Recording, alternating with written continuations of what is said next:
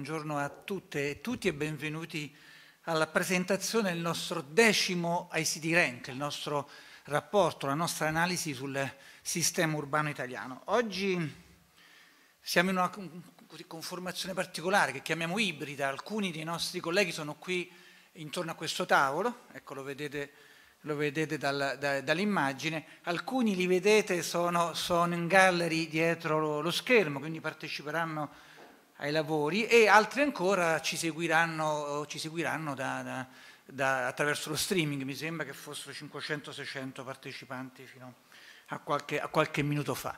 La logica ibrida non è solo in termini di trasmissione, ma anche in termini di, di formato. Il, eh, una prima parte eh, sarà appunto la presentazione della ricerca con ritmi molto serrati, chiedo già scusa ai miei colleghi e alle mie colleghe che che, alle quali, eh, ai quali eh, terrò i tempi molto serrati perché appunto questo ci richiede lo streaming, tempi veloci. E poi in una seconda parte della mattinata ci fermeremo con coloro che sono qui, mangeremo qualcosa insieme e approfondiremo i temi, i temi che, abbiamo, uh, uh, che, saranno, che, saranno, emersi. Ovviamente poi il tutto vi verrà restituito attraverso articoli, comunque report, eccetera.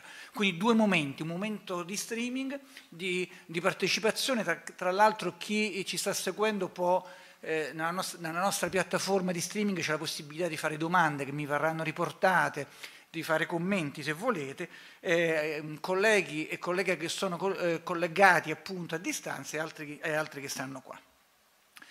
Eh, decimo, decimo, anno, in verità, in verità per chi ci conosce, per chi mi conosce sa che questa è un'indagine che viene da lontano, ci sono diversi ex colleghi qui, ex colleghi del Censis, una, lo ripetiamo spesso, è, una, è un interesse per le città digitali che nasce molti, molti anni fa, nasce nel 1996, è stato il primo report sulle città digitali, che poi abbiamo ripetuto per dieci anni in quel contesto e qui ripreso come, come, come FPA e come Forum PA. Eh, 1996, oggi 25 anni, cosa è cambiato? Qualcosa è cambiato, non molto, non a sufficienza. Il, avete visto il famigerato indice DESI che è uscito questi giorni, insomma contestato come al solito, come, come tutte le sintesi, ci, fa, ci registra, anche se qualcuno tra l'altro mette anche in discussione diciamo così, questa performance positiva di cinque posizioni in avanti del Paese, da 25esimi siamo diventati ventesimi, ma insomma eh, rimane il fatto che scontiamo una, una eh, decisa ritardo in termini appunto infrastrutturali, in termini culturali per quanto riguarda la trasformazione, la trasformazione digitale.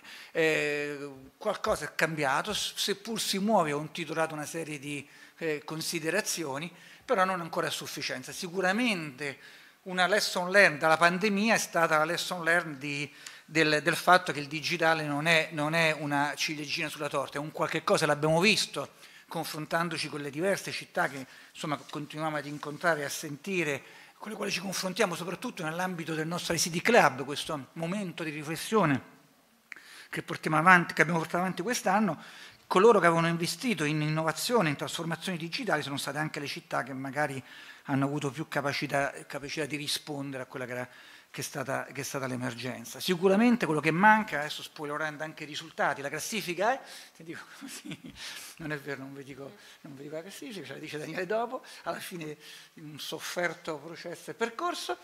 Eh, quello che manca ancora è, è, è, una strategia probabilmente paese, ne parleremo, ne parleremo oggi, cioè pensare l'occasione che abbiamo davanti un'occasione irripetibile, le, le risorse continuano a rassicurarci che ci saranno, dobbiamo assolutamente immaginarci un progetto paese che sia condiviso e che sia condiviso con i diversi territori eh, eh, eh e con le diverse, con le diverse città.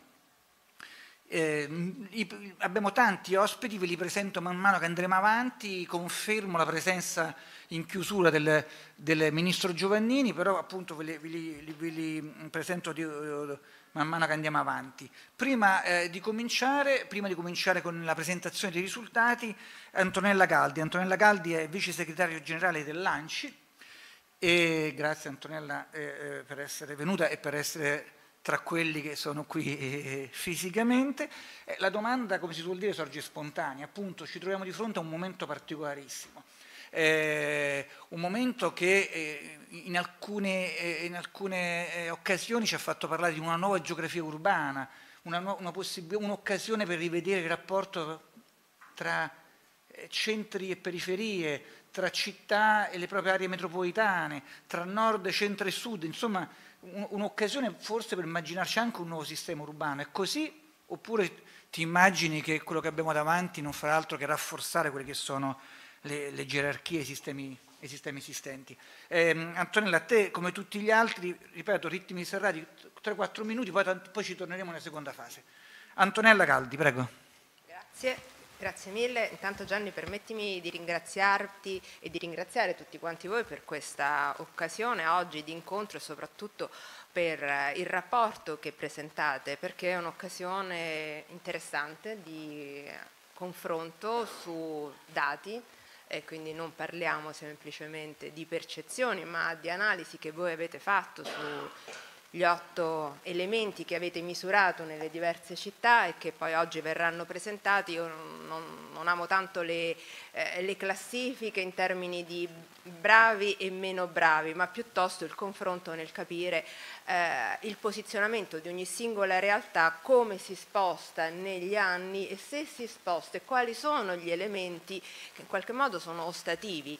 Perché io non credo che nessun amministratore locale, oggi ne abbiamo tanti qui presenti intorno al tavolo, di assessori che quotidianamente si impegnano eh, nelle proprie realtà eh, non abbia chiaro mh, la strada da seguire, non abbia chiaro gli, ob gli, gli obiettivi. Il punto dove ci troviamo quasi sempre a, a, scontrarci, sulle reali capacità poi di cogliere queste sfide e quindi io credo che anche oggi, senza appunto spoilerare la vostra classifica, però indubbiamente eh, io temo che di stravolgimenti di chi era in fondo a una classifica qualche anno fa eh, potersi vedere proiettato in testa ma mm, diventa un po' complicato. Diventa complicato perché le amministrazioni poggiano il loro sviluppo su quelle che sono le competenze e la struttura amministrativa e gli investimenti fatti nel passato. Eh, noi scontiamo in questi ultimi anni in termini di personale una riduzione del 25% e questo è un dato drammatico e importantissimo per consentire di procedere nei processi di innovazione. Abbiamo meno personale, meno personale significa anche meno anche competenze perché il personale che c'è è un personale che noi sappiamo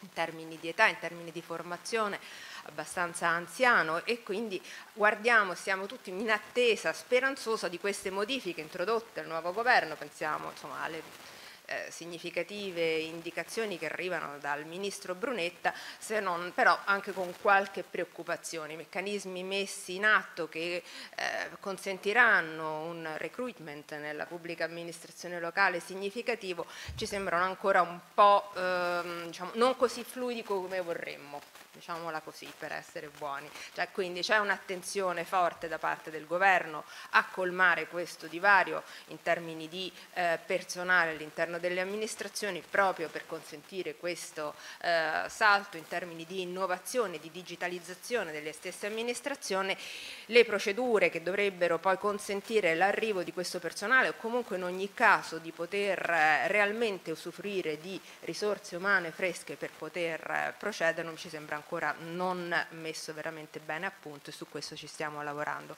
La richiesta ultima che noi abbiamo presentato proprio ieri in audizione al, per quanto riguarda la manovra è proprio di consentire perlomeno di avere un 2% di personale eh, di, delle quote di risorse assegnate ai comuni per il PNRR nelle disponibilità dei comuni per poter procedere autonomamente alla selezione di personale eh, con contratti a tempo determinato, quindi con una richiesta molto chiara nel rapporto anche stato fatto dal Presidente De Caro a Draghi di date fiducia alle, nostre amministrazioni, non mettiamo meccanismi, noi facciamo la domanda, la domanda viene valutata a livello centrale, poi dopo c'è la selezione, chi seleziona, chi arriva, come non arriva, dateci le risorse selezioneremo personale adeguato, adeguato perché sappiamo benissimo qual è la sfida che dobbiamo fare. Rispetto alla tua domanda, ge geometrie cambieranno, io mi auguro, mi auguro proprio di sì, eh, però questo lo facciamo. Eh, come detto, potendo contare su risorse umane in grado di modificare gli attuali assetti, eh, semplificando le procedure e anche qui ancora abbiamo tantissimo da fare, Potrai, potremo immaginare dei disegni diversi urbani quando queste risorse messe a disposizione saranno accompagnate da una vera semplificazione. Ad oggi abbiamo dei segnali, ma sono solo ancora dei segnali. Eh, noi ci auguriamo realmente per ogni singolo intervento, qui parlo del PNRR, ma non parliamo solo di quei fondi perché abbiamo a disposizione quelli delle politiche di coesione, abbiamo quelli della nuova manovra. E il problema, come sempre detto anche in passato, non sono le risorse economiche, sono la modalità attraverso la quale poter spendere queste risorse e consentirci quindi sì di ridefinire dei nuovi sistemi urbani. Ed ultima cosa, ehm, voi avete analizzato eh, la digitalizzazione dei singoli servizi, quanti ne sono caricati sulla APIO e, e, questo è un dato importante e significativo. Però non fermiamoci esclusivamente a quanto ho digitalizzato, ma in che modalità ho modificato certo. i miei servizi, perché quello che noi oggi chiediamo alle città e molte si stanno impegnando in questo è in una modifica e crescita dei servizi volti a garantire una migliore qualità della vita. Non è diciamo, scontato che la digitalizzazione di un servizio corrisponda poi, a un miglioramento della qualità dei servizi. Poi ne parliamo perché con alcune città amiche stiamo pensando anche a un, a un, a un progetto che vada a valutare in, eh, una sorta di customer satisfaction messa, messa in rete, quindi sì. confronti i risultati, perché come benissimo dici tu, non conta avere il servizio, ma anche come usato e la soddisfazione del servizio. Assolutamente, e, e in alcuni settori verticali, penso alla mobilità, eh, che voi avete analizzato all'interno del, del, vostro rapporto, è, è evidente che digitalizzare alcuni servizi è importante, ma questo deve essere accompagnato da policy concrete certo. eh, e forse il settore della mobilità è uno di quelli dove si, mh, si nota evidentemente la necessità di integrare la digitalizzazione di un servizio del cambio di alcune strategie di organizzazione in ambito urbano, cosa che devo dire i comuni stanno facendo. Ultima cosa, consentimi di ringraziare molti dei comuni che sono oggi qui presenti per il lavoro che stanno facendo con noi eh, ai tavoli di Colau per la definizione delle varie misure previste all'interno del PNRR. Questa è per la prima volta, credo veramente, nella storia noi stiamo lavorando insieme all'amministrazione centrale nel costruire anche la struttura delle diverse piattaforme nazionali che poi i comuni saranno chiamati a diventare della serie non più come Grazie, NPR Antonella. ma qualcosa di diverso. Grazie, Grazie. Poi, poi, poi, ritorneremo su questi argomenti.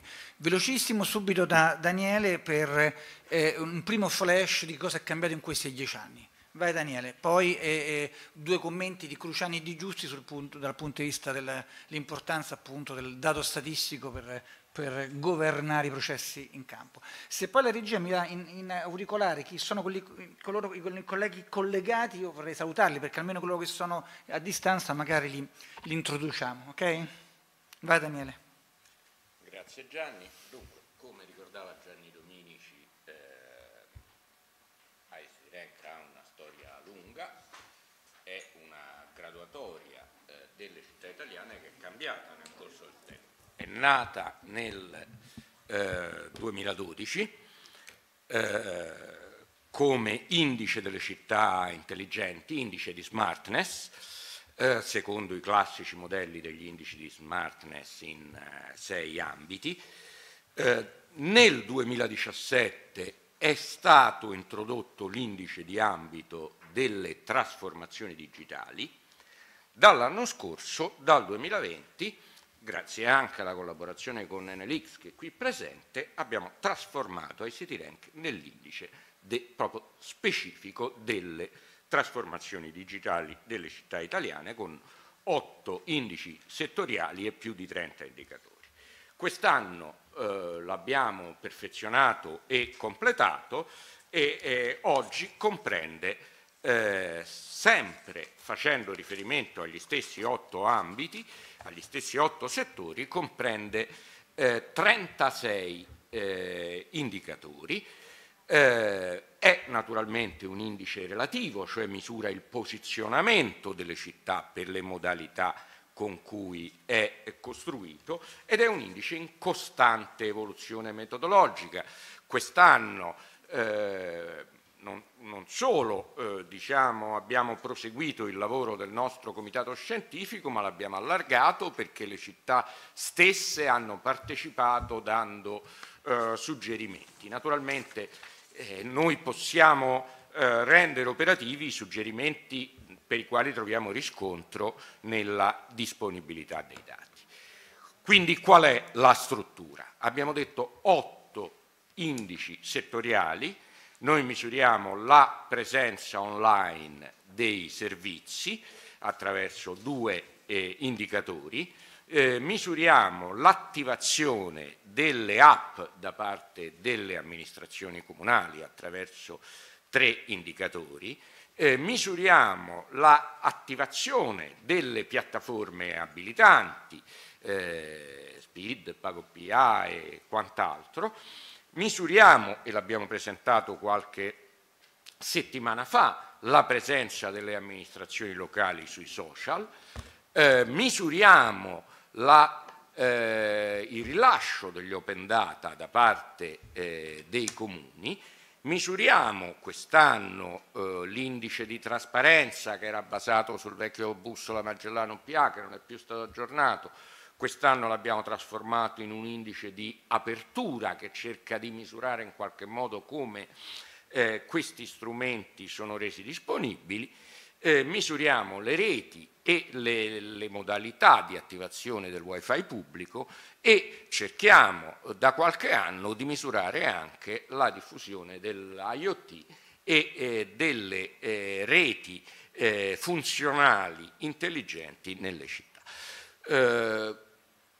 Questo lavoro si traduce nella eh, selezione di eh, 130 eh, variabili eh, che applicate a 107 amministrazioni comunali significa eh, parlo ai colleghi del, dell'Istat e del Tagliacarne, insomma un, una base di circa 14.000 eh, dati elementari che noi rileviamo ogni anno le, quali sono le tendenze fondamentali, le tendenze fondamentali le vedremo meglio, eh, meglio dopo, eh, diciamo che la sensazione è che dopo il 2020 in cui c'era stata indotta dalla pandemia una crescita generalizzata, nel eh, 2021 eh, torniamo ad avere una tendenza alla polarizzazione, ma di questo ne parleremo meglio dopo.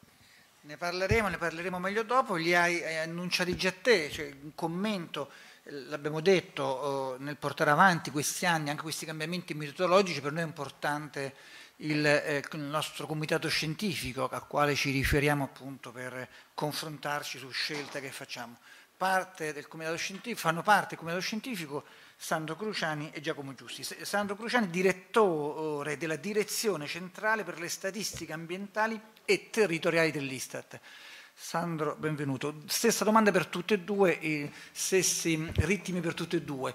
Ehm, è un momento di grandi cambiamenti, si parla tanto di data driven society, di data driven decision, abbiamo visto quanto è importante prendere decisioni in un contesto come minimo turbolento, difficile, che sta, che sta cambiando, come, eh, può, eh, eh, come vi immaginate che sarà il ruolo, in questo caso dell'Istat e poi del tagliacarni per i prossimi, per i prossimi anni? Vai Sandro. Ma grazie intanto per eh, questo invito e anche per l'opportunità di questa domanda che mi dà la possibilità di fare un commento generale eh, sul, tema, sul, tema, della misurazione. Eh, qui stiamo, stiamo, in un momento storico in cui programmi internazionali, Green Deal, PNRR, politiche di coesione, la politica agraria comunitaria stanno in questo momento proprio eh, spiegando le loro, le loro, potenzialità, ma in un contesto in cui l'attenzione alla misurazione, faccio un ragionamento tipo molto complessivo, è assai scarsa. Eh, non, eh, non, ci sono misure, ad esempio, per migliorare la, la, la qualità dell'informazione, non parlo solo dell'informazione statistica, ma il problema della misurazione degli obiettivi, del raggiungimento dei target, eh, sono temi che ad esempio su, sul tema della, della, politica agraria comunitaria sono all'attenzione di tutti e soprattutto all'attenzione dell'Europa. Eh, se vedete la bozza della, della, della politica, del, insomma, del piano dello sviluppo rurale italiano ci sono tutta una serie di richieste di informazioni statistiche che al momento non possono essere misurate. Questo, ed è diciamo, un po' un controsenso perché all'interno non ci sono neanche misure, eh, finanziamenti, attività che eh, sono eh, protese a migliorare questa, questa capacità eh, complessiva del, dello Stato italiano di misurare il raggiungimento degli obiettivi eh, anche per attività di monitoraggio. Eh, L'Istat in questo, momento, in questo momento storico sta lavorando fondamentalmente su due, su due piani, uno sulla massimizzazione dell'utilizzo dei dati amministrativi attraverso il sistema dei registri, eh, il sistema dei registri significa sostanzialmente la combinazione intelligente di tutti gli archivi che le amministrazioni pubbliche eh, e non pubbliche producono per i loro, eh, per i loro obiettivi ovviamente trasformando l'integrazione eh, e quindi anche la, la, la, connessione tra questi archivi in, in, registri di tipo statistico. Questo consentirà eh, il, ad esempio il, il, censimento della popolazione che adesso è passato da decennale ad annuale, è uno di questi esempi. Si, il censimento si basa proprio su un registro eh, incrociato di informazioni che provengono dai comuni, dalle amministrazioni, dalle, dai ministeri e quant'altro. E questo porterà sicuramente, è un processo molto lungo, ne ho parlato già l'anno scorso, quindi non vorrei ripetermi, è un processo molto lungo, ma che comunque porterà a un enorme, un enorme incremento dell'informazione eh, statistica, ma soprattutto con un fortissimo dettaglio territoriale. Siamo nella potenzialità di arrivare, so, almeno nei grandi comuni, a livelli di, eh, ovviamente di partizioni subcomunali, quindi lì dove forse nelle politiche urbane vengono svolte la maggior parte delle politiche. Quindi diciamo, ecco, questo è un altro elemento che, eh, legato alla misurazione che non, non, non sempre traspare, che eh, è vero che eh, la dimensione del comune dimensione è una dimensione importante per le politiche, ma in alcune realtà non è ancora sufficiente, bisogna scendere ancora più nel dettaglio e su questo è quello che noi stiamo facendo e stiamo lavorando. L'altro filone che stiamo eh, cercando di, eh, di, percorrere, anche grazie a finanziamenti delle politiche di coesione, è eh, l'integrazione di tutti i dati territoriali a disposizione. Noi abbiamo costruito eh, negli anni scorsi, ed è tuttora uno dei prodotti più eh, consultati dell'Istat, l'Atlante Statistico dei Comuni, che raccoglie appunto informazioni a base comunale, siamo arrivati a circa 600 eh, variabili eh, aggregabili secondo settan una settantina di territori di, di, varia, di varia natura.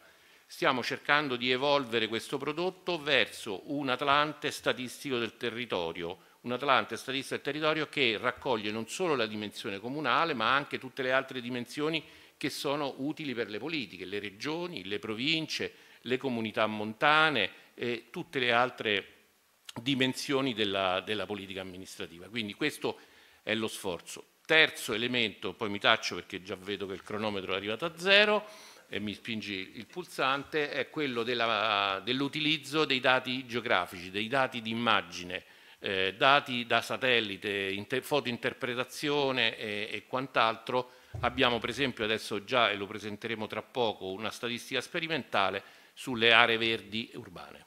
Mi taccio. Grazie, grazie Sandro. Nel dare eh, eh, la parola a Giacomo, chiederei alle regie di cambiare logica. Ci mandate sul, sul grande schermo e sul programma, e anche qui, perché se no in effetti siamo tanti, chi parla non si vede. Se invece della slide tap ci mettete il programma, sia qui che, che dietro. Grazie, vai Giacomo, stessa domanda. Grazie, buongiorno a tutti, grazie per l'invito. Beh, noi stiamo facendo un bilancio di dieci anni sostanzialmente di evoluzione della digitalizzazione della pubblica amministrazione. Fare, colgo l'occasione per fare anch'io un bilancio dieci, di questi ultimi dieci anni sulla conoscenza economica dei territori, che è l'ambito in cui diciamo così, il sistema camerale delle camere di commercio, in cui il centro studi opera, diciamo così, ha il suo, il suo core business, se così possiamo definirlo. Beh, grazie al lavoro importantissimo, soprattutto nel sistema dei registri di cui parlava Sandro Cruciani poco fa. Oggi noi sappiamo tantissime cose in più rispetto a 10 anni, 15 anni fa, sulla, sulla geografia economica del nostro paese. Sappiamo sostanzialmente come dire le caratteristiche economiche delle città contrapposte a quelle che possiamo definire periferie e sappiamo che oggi sostanzialmente le città sono essenzialmente il motore dello sviluppo del nostro paese. Cito semplicemente due dati, il valore aggiunto pro capite delle città è valutabile oggi intorno ai 37.000 euro a, eh, a fronte dei 22.000 euro del resto del territorio, quindi chiamiamolo delle periferie, quindi già un divario molto importante che richiama sostanzialmente come dire, il divario nord-sud storicamente presente all'interno del nostro paese.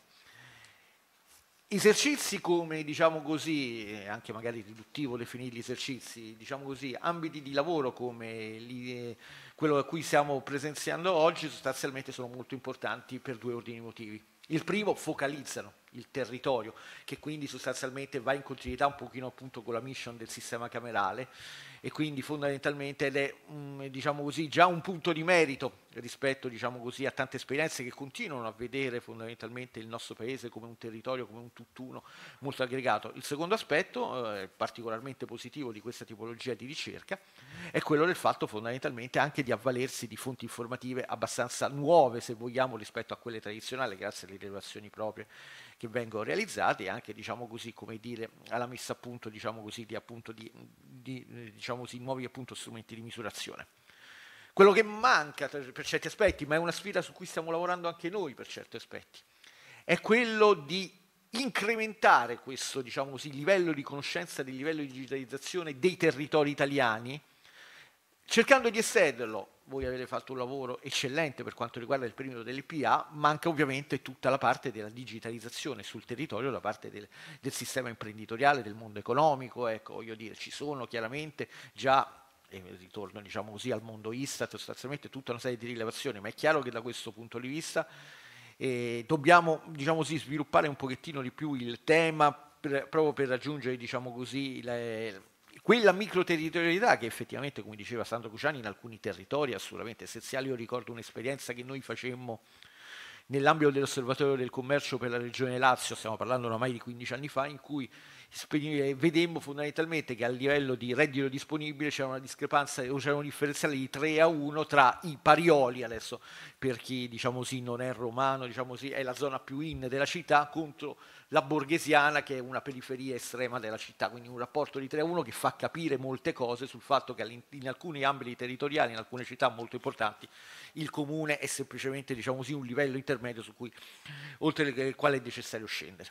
Quindi fondamentalmente grande, una delle grandi sfide che ripeto, impegnerà anche il sistema camerale diciamo così, nel prossimo futuro è quello di ampliare questo discorso della digitalizzazione eh, della misurazione appunto della digitalizzazione estendendolo appunto alla, al sistema delle imprese. Altri aspetti sono fondamentalmente importanti che, la, che diciamo così, una misurazione della digitalizzazione può dare, e mi, e mi taccio entro un minuto fondamentalmente, è quello, eh, diciamo così, come dire, che oggi come, eh, oggi come oggi quel risultato che vi dicevo all'inizio di migliori performance delle città rispetto al resto del paese deriva non tanto dalla presenza di attività a maggior valore aggiunto nelle città rispetto agli altri territori, questo non è vero, o se è vero è soltanto vero parzialmente, ma è legato al fatto che all'interno delle città c'è molta più economia rispetto al resto del territorio. E allora a questo punto, non volendo chiaramente togliere economia alle città è necessario, come dire, anche un un ripensamento dei modelli economici, se vogliamo, e strumenti legati alla digitalizzazione come lo smart working, la DAD, possono consentire, come dire, se utilizzati ovviamente con un certo raziocinio, di, come dire, di andare incontro a quel problema di, eh, di quella questione di diminuire un pochettino la pressione sulle città appunto del, del, del, valore economico stesso delle città. Grazie. Giacomo, grazie Giacomo, vi devo tenere stretti perché oggi vi vedo praticamente loquaci. Grazie comunque, grazie, sì, ma i tempi sono questi, i ritmi sono questi, il gioco è questo. Daniele Fichera, quindi neanche lo introduco, eh, la, la, narrazione, come si dice, è sugli otto capitoli e poi andiamo a vedere la sintesi finale. Quindi capitolo per capitolo rispetto a quella parte che abbiamo, mh, alle otto dimensioni che abbiamo, che abbiamo introdotto. Quindi il primo sono i servizi digitali. Magari per questo prenderò un minuto in più, così spiego la metodologia di ogni capitolo e poi negli altri prenderò un minuto in meno. Sono sette, ci, ci, ci, guadagni nel cambio. Il primo, eh, il primo indice che noi consideriamo, il primo ambito, è l'attivazione dei servizi online. È il settore che ha avuto una grande spinta nel corso del 2020, collegato alle eh, vicende della eh, pandemia. Che informazioni mettiamo noi a disposizione? Innanzitutto noi eh, questo indice è basato su una metodologia di rilevazione che si ispira a quella utilizzata dall'Istat nelle statistiche sulle città dove appunto rileva i servizi che vengono attivati. Ma da due anni noi procediamo a una rilevazione diretta due volte l'anno eh, di eh, un, mm, un, campione di servizi eh, digitali e grazie a questo possiamo costruire quello che chiamiamo un vero e proprio indice di disponibilità dei servizi online nei comuni italiani che vedete rappresentato in questo grafico eh, e che ci dà la misura della eh, crescita del fenomeno. Su 10 servizi in 107 comuni, cioè 1070 possibili caselle, nel, alla fine del 2019 ne era coperto il 41%, oggi siamo al 67%. Eh. Eh, I comuni che eh, hanno online 8 o più di questi 10 servizi, cioè i comuni che secondo noi hanno raggiunto una eh, maturità digitale su questo fronte completa, sono passati dai 10 della fine del 2019 ai 48 della fine del 2021. Dal grafico vedete anche eh, diciamo, la controprova di una, di una, considerazione che ci siamo ripetuti tantissime volte, cioè la spinta dovuta alla fase della pandemia. Vedete infatti che tra l'autunno del 2019 e la fine della primavera del 2020 si ha proprio un balzo in avanti, il passaggio dal 41 al 53%. Eh. Noi cercheremo di riprodurre per ogni per ogni indice che abbiamo considerato abbiamo cercato di costruire anche non solo la graduatoria della cecità ma anche una serie storica del fenomeno nella sua complessità. Qui vedete l'elenco dei servizi online che abbiamo misurato con la presenza che abbiamo eh, verificato eh, città per, eh, per città, eh, diciamo uno, uno, per uno, i dieci servizi che abbiamo eh, verificato. Peraltro su questo appunto facciamo due rilevazioni là.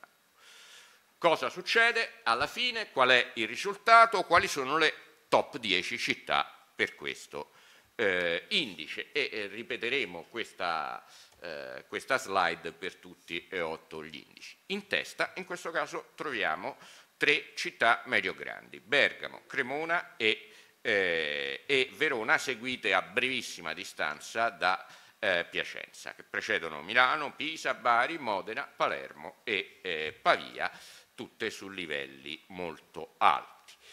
Eh, per ogni indice noi compiamo una duplice analisi, un'analisi di tipo territoriale e un'analisi di tipo dimensionale.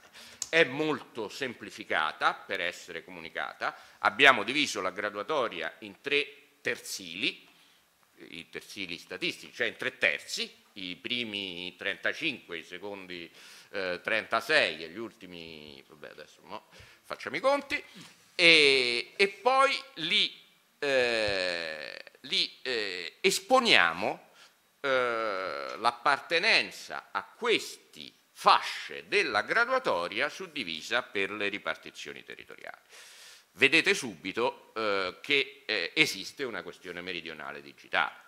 Cioè dal punto di vista dei servizi online, eh, ne, tra i comuni settentrionali quasi il 50% è nel terzo elevato della graduatoria, eh, poco più del 20% tra i comuni del centro Italia e ancora meno nel eh, meridione. Eh, lo scarto è ampio e molto evidente. Stesso meccanismo logico per la dimensione demografica delle amministrazioni comunali che ci consente di eh, dare una eh, illustrazione della seconda variabile strutturale che condiziona questi fenomeni. Vedete che eh, diciamo, quasi la totalità, tranne una, delle città eh, delle 12 città con oltre 250.000 abitanti si collocano nella fascia alta e poi si va via via a scendere fino a trovare solamente tre dei 24 capoluoghi con meno di eh, 50.000 abitanti collocati nella fascia alta della eh, graduatoria. Grazie, grazie Daniele. E allora il primo commento, la struttura eh, è, è, questa, una dimensione e un commento dalle città. Il primo commento è eh, da parte di Maurizio Manzi, Maurizio Manzi è assessore all'innovazione del Comune di Cremona, assessore al bilancio, innovazione e digitalizzazione del Comune di Cremona. Ciao Maurizio, eh, per te se sei ritmi mi dispiace, spero tutto bene. Eh, la prossima volta spero di averti qui. Vai.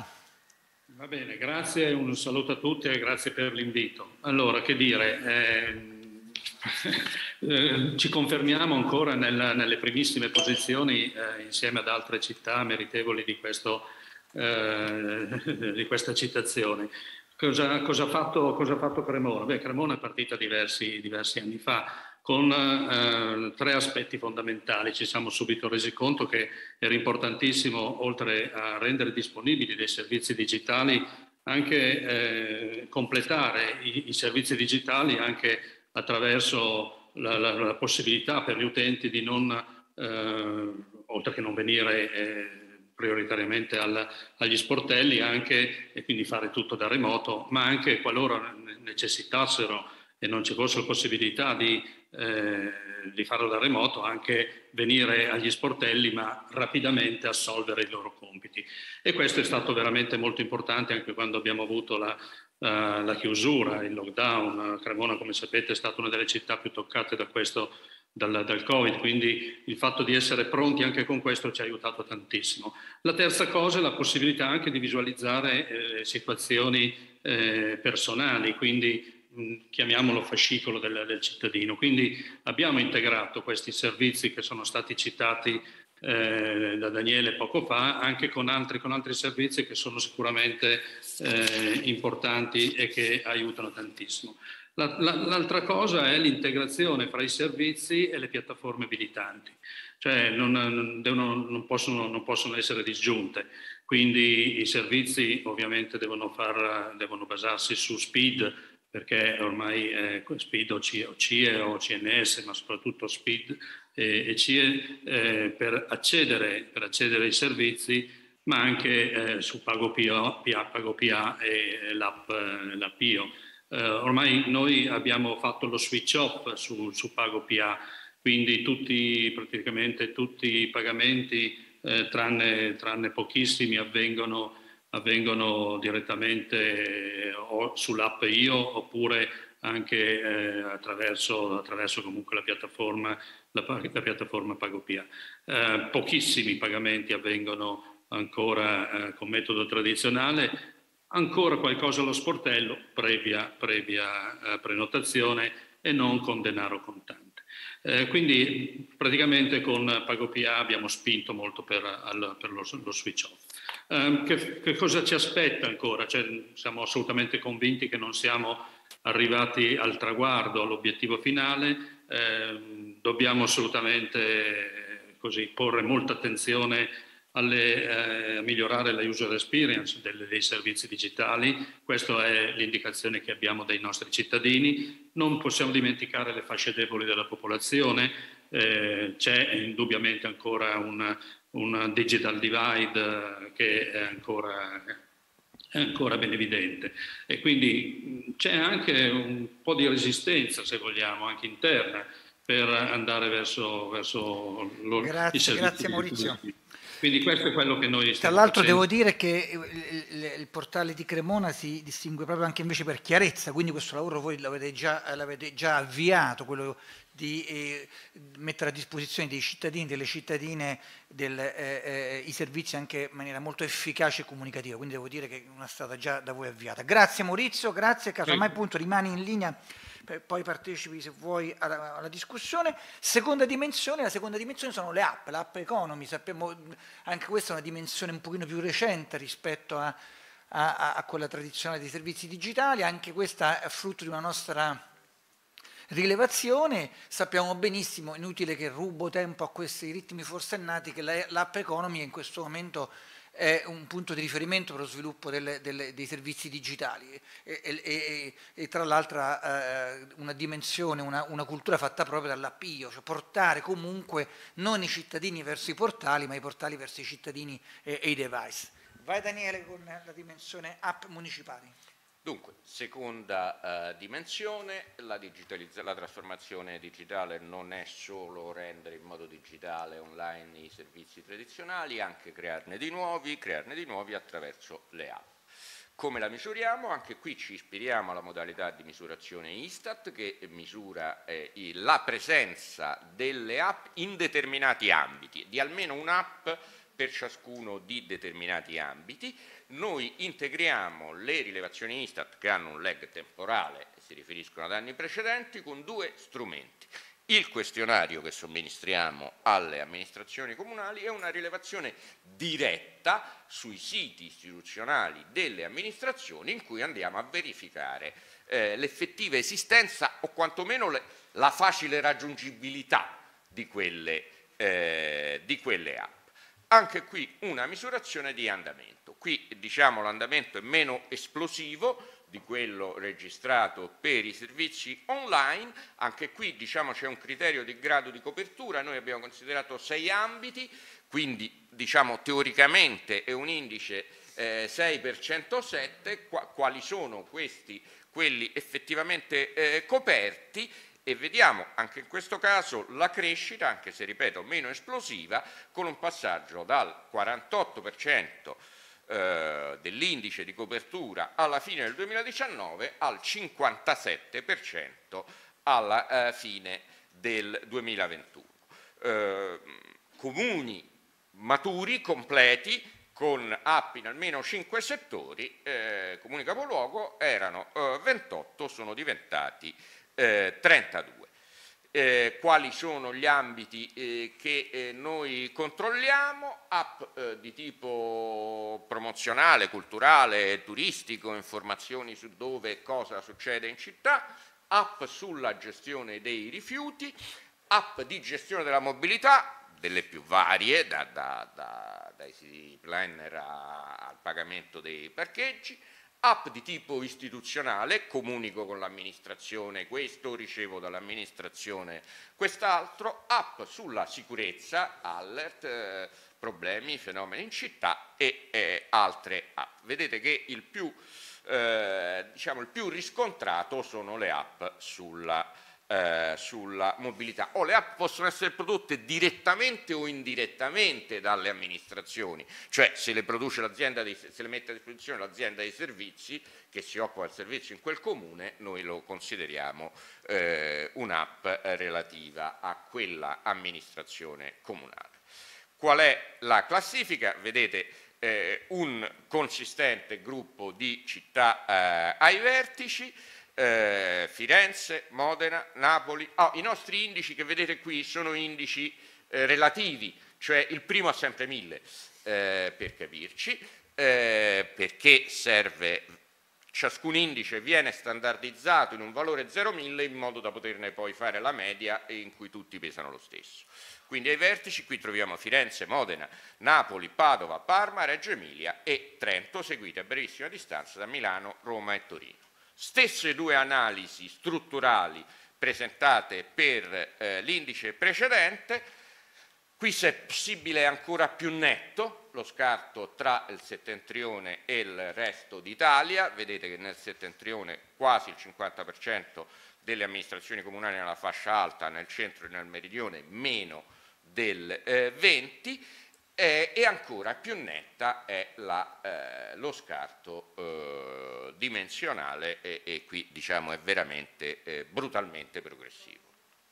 Grazie e allora eh, il commento è di Ines, Ines Soletti, assessora all'innovazione tecnologica, semplificazione, scuola, formazione professionale del Comune di Parma. Abbiamo visto Ines che Parma è, è, ehm, è ai vertici, il nostro, commento, nostro, commento è che ai vertici non solo eh, per eh, il numero di app e la qualità, ma anche, anche in questo caso come eh, per la comunicazione, per la, per la semplicità con, la quale, con, le quali sono oh, proposte a, ai cittadini e alle cittadine. Vai Ines, sì, benvenuta grazie, intanto. Grazie intanto Gianni di averci invitato qui stamattina. Eh, devo dire che quella delle app è stata una scelta che abbiamo fatto qualche anno fa. Eh, Parma è città universitaria, per cui in un'occasione di un meeting in cui eh, ho, ho, dovuto relazionare all'interno del nostro campus universitario, avevo di fronte eh, tantissimi ragazzi che facevano ingegneria dell'informazione ed erano stesi dopo due ore di interventi eh, diciamo un po' così impegnativi da parte dei, di chi mi ha preceduto, al che io ho detto ragazzi tirate fuori il cellulare, chi di voi eh, scaricherà nel più breve tempo possibile le applicazioni del portale del Comune di Parma avrà la possibilità di accedere al, a fare una visita guidata all'interno mm, eh, dei locali che abbiamo eh, del data center di Lepida che sono a Parma. E la risposta immediata che loro hanno avuto eh, ha fatto sì che scattasse in noi la volontà di eh, rendere disponibili il più possibili applicazioni che fossero eh, alla loro portata. Eh, però questo ovviamente ha fatto sì che mh, ci fosse poi il problema di non lasciare indietro quella parte di popolazione che ha problemi invece nell'utilizzare l'innovazione. Di conseguenza, grazie al fatto che su Parma è fortissimo anche l'associazionismo, abbiamo utilizzato enti di volontariato che facevano, aiutavano la popolazione in difficoltà e questo ci è venuto soprattutto in aiuto anche nel periodo eh, Covid eh, per aiutarli fare, ad utilizzare al meglio le applicazioni che abbiamo. Poi abbiamo anche la fortuna di, are, di avere un ente di formazione che sta garantendo, l'ente di formazione del Comune di Parma, sta garantendo corsi gratuiti a tutta la popolazione che hanno necessità eh, di utilizzare in modo semplice queste applicazioni. Siamo Parma città capitale della cultura, per cui questo ci ha dato lo spunto per fare un'applicazione per la cultura, per il turismo, che potesse in qualche modo agevolarci. Ovviamente abbiamo dovuto fare delle scelte perché, eh, come diceva Antonella Galdi di Anci prima, eh, il taglio del personale, soprattutto nei comuni della nostra dimensione, eh, è eh, un fattore molto rilevante, eh, per cui abbiamo scelto, non avevamo fino a un mese fa un, un dirigente all'innovazione che sapesse di innovazione, ma erano tutti interim, per cui l'assessore doveva fare, oltre a delle scelte politiche, anche delle scelte tecniche. Quello che abbiamo fatto noi è di puntare su alcuni settori, abbiamo tralasciato ad esempio, abbiamo deciso di tralasciare l'open data che ci vedrà magari nei prossimi anni più attivi, ma di dedicarci in modo, ogni anno sceglievamo un ambiente strategico per, per fare questa innovazione. Siamo partiti dagli educativi perché appunto questa doppia delega per poi passare eh, ad altri settori. Proprio oggi, in onore di questa, eh, di questa pubblicazione del City Rank, eh, passeremo sull'applicazione IO altri 20, 20, eh, attività per rendere ancora più ovviamente innovativa la nostra, la nostra amministrazione. Stiamo lavorando al rifacimento completo del portale, questo è il prossimo obiettivo che ci diamo. Quello che è interessante è che in questa crescita, noi abbiamo una crescita costante, no? Nella, eravamo undicesimi l'anno scorso nella non dovevo dirlo, tolgo quello che ho detto. Non sappiamo come saremo quest'anno, però insomma se siamo qua un da che ce l'abbiamo fatta spoilerare fine. No, no, non ho detto niente, l'anno scorso eravamo undicesima. L'importante, quello che mi sento di consigliare a, a chi sta ascoltando è di non arrendersi mai, anche con le poche energie che si hanno, eh, di, utili, di mh, verificare quali potrebbero essere gli obiettivi strategici e puntare su uno di questi.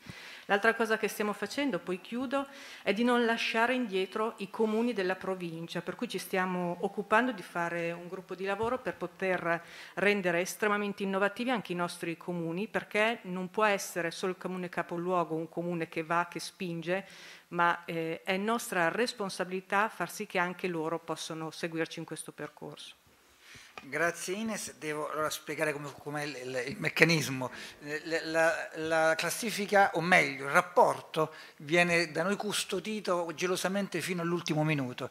Eh, a, a, coloro che devono parlare il giorno della presentazione noi diamo il rapporto la sera prima, ovviamente con l'embargo, così per loro che per i giornalisti, quindi sono embargato fino a mezzogiorno, quindi Ines ha rotto l'embargo. Non è vero, scherzo, non ho detto niente.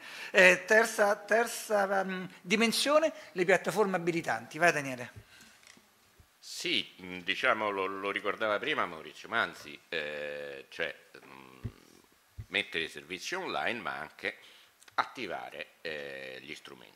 Come misuriamo questa uh, dimensione? Eh, questo è un indice da diverso tempo presente in eh, ICT Rank, eh, oh, che ogni anno cambia, perché ogni anno cambiano le cose. Oggi era inutile rimettere l'indice su chi ha ANPR, perché diciamo ce l'hanno tutti.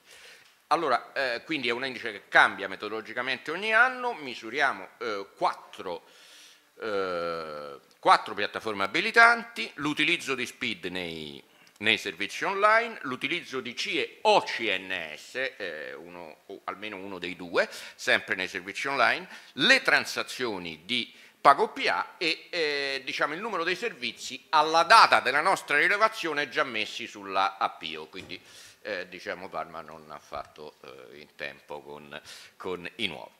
Anche qui cominciamo da qualche dato di andamento, beh ce n'è uno che a me sembra particolarmente simbolico.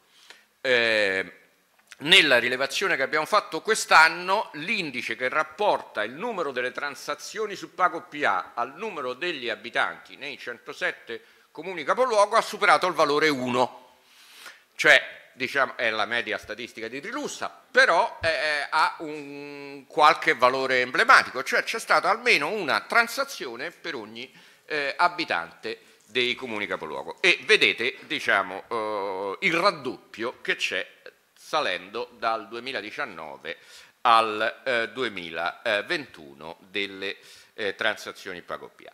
Qui invece vedete il tema, cioè metto i servizi online ma li devo rendere accessibili con SPID, anche qui noi partiamo da una rilevazione che fece la Corte dei Conti nel 2019, ma la aggiorniamo sistematicamente e nella misura in cui riusciamo a recepirlo, ci può essere qualcosa che ci sfugge, però noi andiamo nei siti e cerchiamo eh, diciamo di, di, di, di, raccogliere tutte le informazioni possibili. E qui vedete che c'è ancora molto lavoro da fare, perché sui 10 eh, servizi online di cui noi abbiamo verificato l'accessibilità con Speed, la crescita c'è rispetto all'anno scorso, è notevolissima, passiamo dal 39 al 52%, però eh, diciamo la, la parecchia strada c'è ancora da fare, perché questo è un indice che nel suo valore assoluto deve tendere al 100%. Al 100%.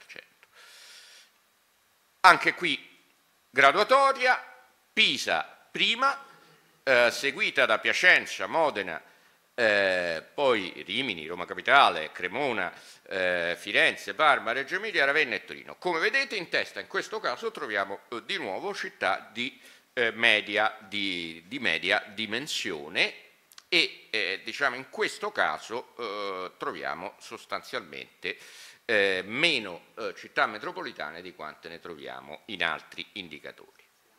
Distribuzione geografica meno spinta che in altri casi. In particolare in questo caso il centro sta più o meno almeno per l'appartenenza alla fascia più elevata, sullo stesso livello del settentrione. Rimane sempre in ritardo il, il eh, meridione.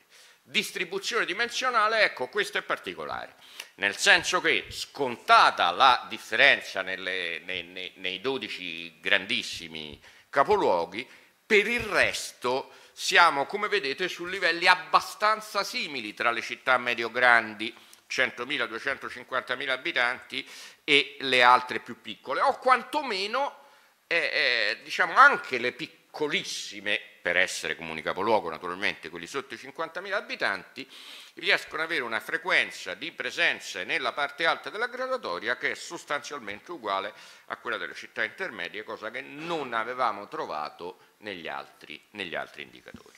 Grazie, il commento è, è, è, è, di Ludovica Carla Ferrari, Ludovica è assessore alla città smart, politiche economiche, turismo e promozione della città di, del comune di Modena. Ciao Ludovica, benvenuta. Beh, abbiamo visto Modena già in, in, in, nelle posizioni di vertice per quanto riguardava l'indice di servizi digitali, adesso la ritroviamo anche qua. Benvenuta, eh, benvenuta Ludovica. Grazie Gianni, buongiorno a tutti, saluto tanto i colleghi, ho ascoltato con molta attenzione. Mm, che dire, il commento è presto detto, nel senso che questa è l'innovazione, quella che voi avete analizzato in questo caso è quella che noi definiamo l'innovazione profonda eh, cioè quel lavoro costante che dura 365 giorni all'anno, è un lavoraccio eh, perché eh, è necessario rimettere in fila fino al più ehm, ehm, minimo processo di dettaglio che avviene eh, nell'ufficio, nei back office, in tutte quelle realtà residuali nelle quali è più difficile arrivare con i grandi metaprogetti di innovazione della pubblica amministrazione. Eh, noi stiamo facendo da anni un lavoro diciamo di fino che a volte non emerge e che fortunatamente voi con questi indici riuscite a raccontare. Eh, credo che sia un lavoro, come veniva riconosciuto, che le amministrazioni italiane stanno facendo con grande attenzione, chi più chi meno, per l'amor del cielo, ma il messaggio è passato, è passato il messaggio che non si può più rimanere indietro, che ci vuole un innalzamento effettivo degli standard complessivi che sono poi anche quelli che ci danno le resilienze che hanno dimostrato anche negli ultimi drammatici due anni che è possibile tenere eh, e che quando ci sono situazioni di emergenza la pubblica amministrazione non si ferma, ma c'è una garanzia di mantenimento e di prosecuzione dei servizi che viene comunque assicurata alle cittadine e ai cittadini. Eh, questo è un, un indicatore eh, rappresentativo anche di quell'ecosistema dell'innovazione più diciamo diffuso e generalizzato che la pubblica amministrazione sui singoli territori e anche a Modena quindi eh, riesce a, ad assicurare e che consente poi all'iniziativa privata, al mondo dell'associazionismo, al mondo della ricerca, eh, a chi ha, come si può dire, creatività, ingegno e anche voglia di darsi da fare, di trovare nella pubblica amministrazione un soggetto che sostiene, che accompagna, eh, che non sta sicuramente un passo avanti perché eh, insomma, sappiamo anche riconoscere qual è il ruolo in questi ambiti della pubblica amministrazione, ma che sicuramente supporta eh, la capacità di stare sulla cresta dell'innovazione di chi in quel territorio ha voglia di dar gambe eh, alla, alla, propria inventiva.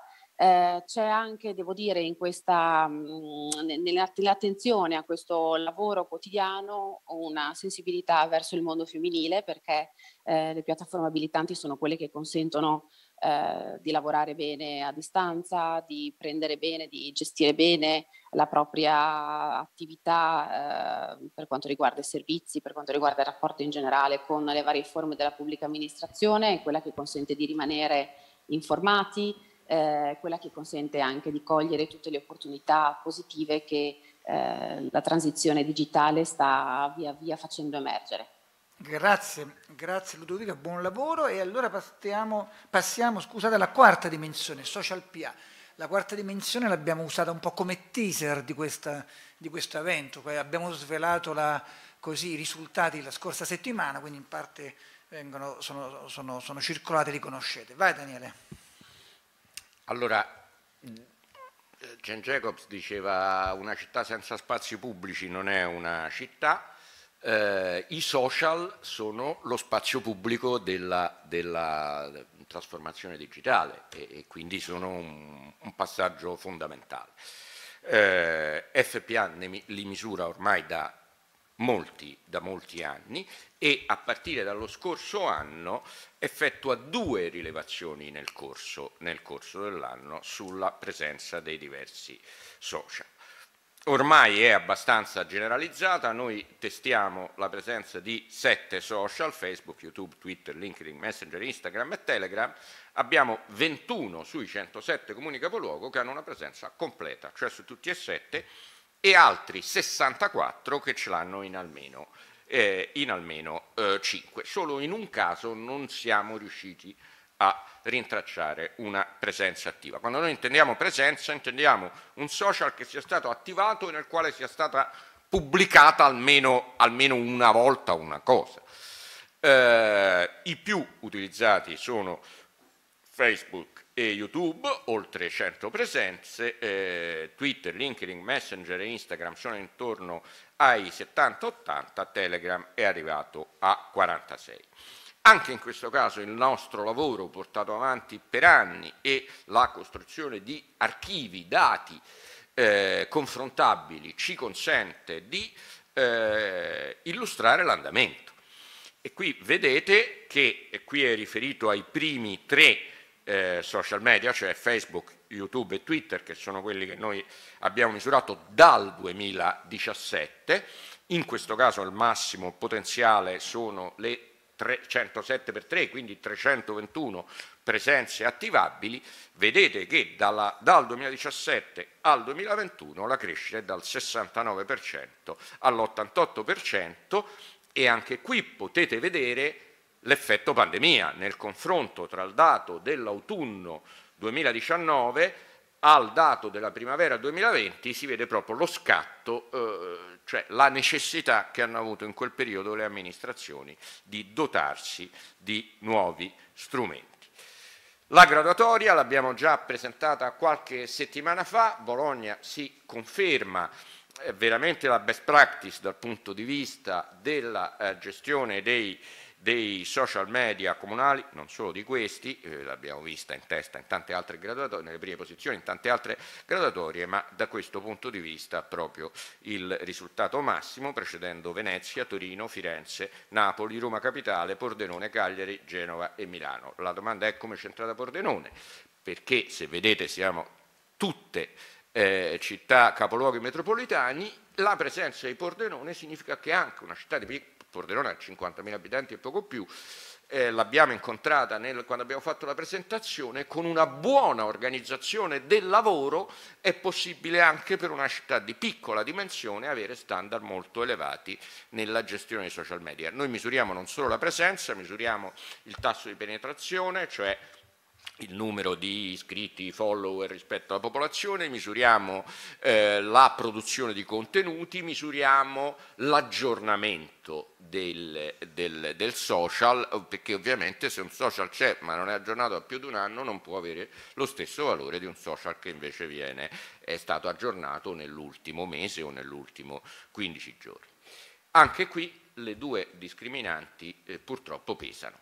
Eh, pesa la discriminante territoriale, insomma penso che sia abbastanza autoillustrativo il grafico, ormai ne avete capito il meccanismo, eh, pesa la discriminante dimensionale, ma come vedete, come nel caso precedente, eh, lo scarto è tra grandissime città che ovviamente hanno risorse e strumenti che soprattutto dal punto di vista dell'aggiornamento e dell'attivazione vi possono aiutare, e le altre che hanno invece in questo caso distribuzioni abbastanza simili. Grazie Daniele. Allora andiamo oh, a Bologna da Massimo Bucani. Massimo Bucani è assessore eh, eh, ai rapporti con il Consiglio Comunale, agenda digitale, uso civico dei dati. Devo dire che fin quando uh, uh, la Forum Pia Città era itinerante perché, perché, potevamo andare in giro per l'Italia, le prime edizioni sono state eh, eh, eh accolte, ospitate dal Comune di Bologna dall'attuale sindaco, quando eh, l'attuale sindaco era assessore all'innovazione, cioè l'Epore. E quindi eh, benvenuto in questo tavolo, visto che in questo momento c'è stato questo cambio eh, come interlocutore. Prego, prego Massimo. Prima di tutto grazie Gianni, grazie Forum PA per quello che fate, per come lo fate. Questa, eh, insomma, negli anni, visto che lo fate da, da tanti anni, eh, si rischia di dare per scontato il vostro lavoro e scontato assolutamente non è. È un grandissimo e preziosissimo lavoro. Detto questo, Bologna ottiene questi risultati, il merito è di tutte le persone che mi hanno preceduto, di tutti i dirigenti di tutti gli staff di questa amministrazione eh, sui social perché Bologna parte nel 1995 con Iperbole, che è una rete civica, quindi un ringraziamento va anche a Stefano Bonaga, l'allora assessore eh, che conoscete tutti, grande filosofo, che ha questa idea di rendere una rete civica biunivoca e quindi Bologna inizia a vivere di social prima della nascita dei social fondamentalmente.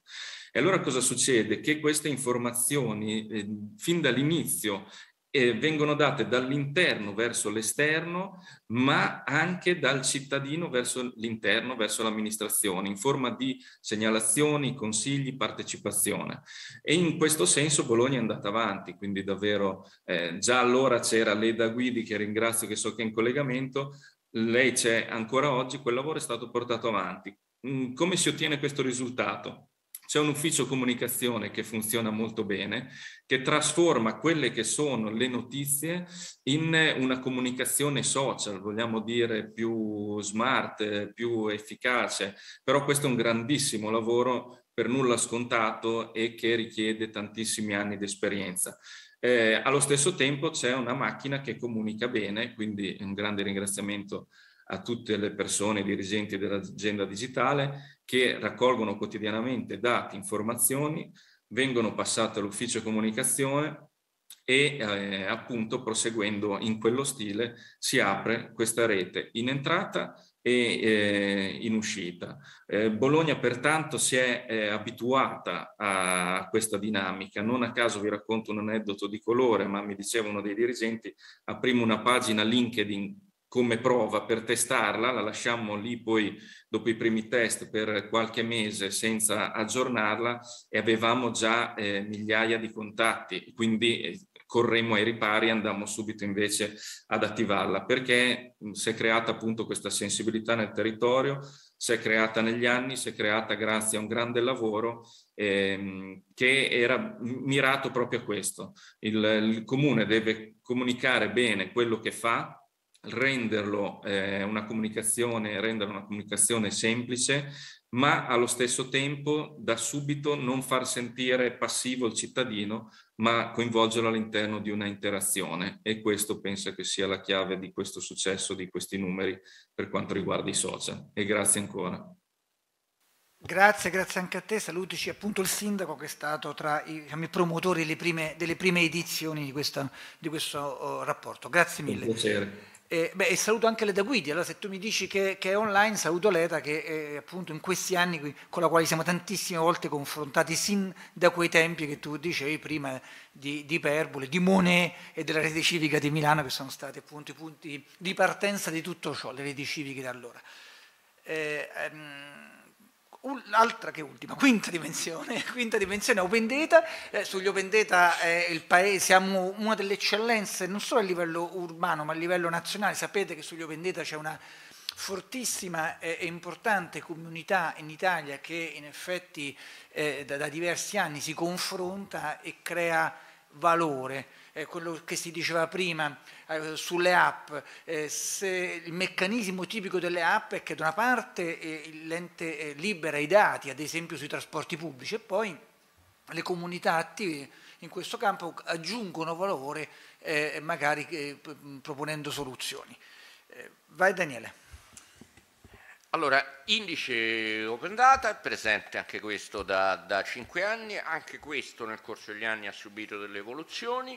Eh, quest'anno insieme a diciamo, dei punteggi attribuiti per il numero di dataset e per il numero di file interoperabili, eh, attribuiamo anche dei punteggi per come viene organizzato, per come vengono resi accessibili eh, gli open data ai cittadini. Questo indicatore diciamo, di qualità della comunicazione l'abbiamo usato anche nelle app e come vedrete lo useremo anche in altri indicatori perché cerchiamo eh, diciamo, di capire non solo i servizi offerti ma anche come si facilita la loro fruizione. Qui la situazione è molto eh, polarizzata. Eh, vedete che anche rispetto all'anno scorso eh, sostanzialmente eh, le amministrazioni che rendono disponibili, raggiungibili, eh, open data passano da 59 a 64, cioè crescono, ma non è che crescano in modo eh, sconvolgente, eh, quelle che, che, tra questi dataset inseriscono file interoperabili passano da 57 a eh, eh, da 47 a 52. Le modalità di accesso, lo dicevo, quest'anno abbiamo introdotto questa eh, ulteriore variabile, eh, la illustro in questo caso in modo esemplificativo anche rispetto alle altre, in 17 casi le amministrazioni comunali hanno un link in HP, in home page, con eh, il portale Open Data, che è un portale perfettamente, stru perfettamente insomma, strutturato in modo avanzato e, e, fruibile, in altri 20 casi c'è comunque l'accesso dall'home page e c'è almeno un'indicizzazione standard degli, eh, degli oh, open data, eh, però vediamo anche che eh, ci sono ancora 14 casi in cui l'indicizzazione è molto parziale oppure c'è solo un elenco non, non attivabile, eh, diciamo, e, e, questo ovviamente diminuisce la uh, fruibilità degli open data stessi. Eh, risultati, eh, podio ex equo eh, Milano, Palermo e Pisa. Eh, Milano, che è Milano, Palermo, eh, città metropolitana del Mezzogiorno, Pisa, città intermedia del centro. Un podio più rappresentativo non si poteva, seguito a brevissima distanza da Firenze, Bologna, Torino, Lecce, eh, altra realtà del Mezzogiorno, Reggio Emilia, Roma Capitale e Udine. I soliti criteri di analisi strutturale, forte anche in questo caso lo scarto nonostante la presenza che abbiamo visto di Palermo e Lecce nella top 10, lo scarto tra il Mezzogiorno e il resto d'Italia purtroppo anche in questo caso è, è forte. Eh, il 60% dei capoluoghi del, del, Mezzogiorno non hanno attivato o comunque reso fruibile un, eh, un portale o una pagina open data, distribuzione dimensionale, qui la cosa francamente è più spiegabile perché comunque un effort eh, richiesto, vedete qui insomma, la classica, ormai abbiamo imparato a vederla, eh, crescita proporzionale a seconda della dimensione.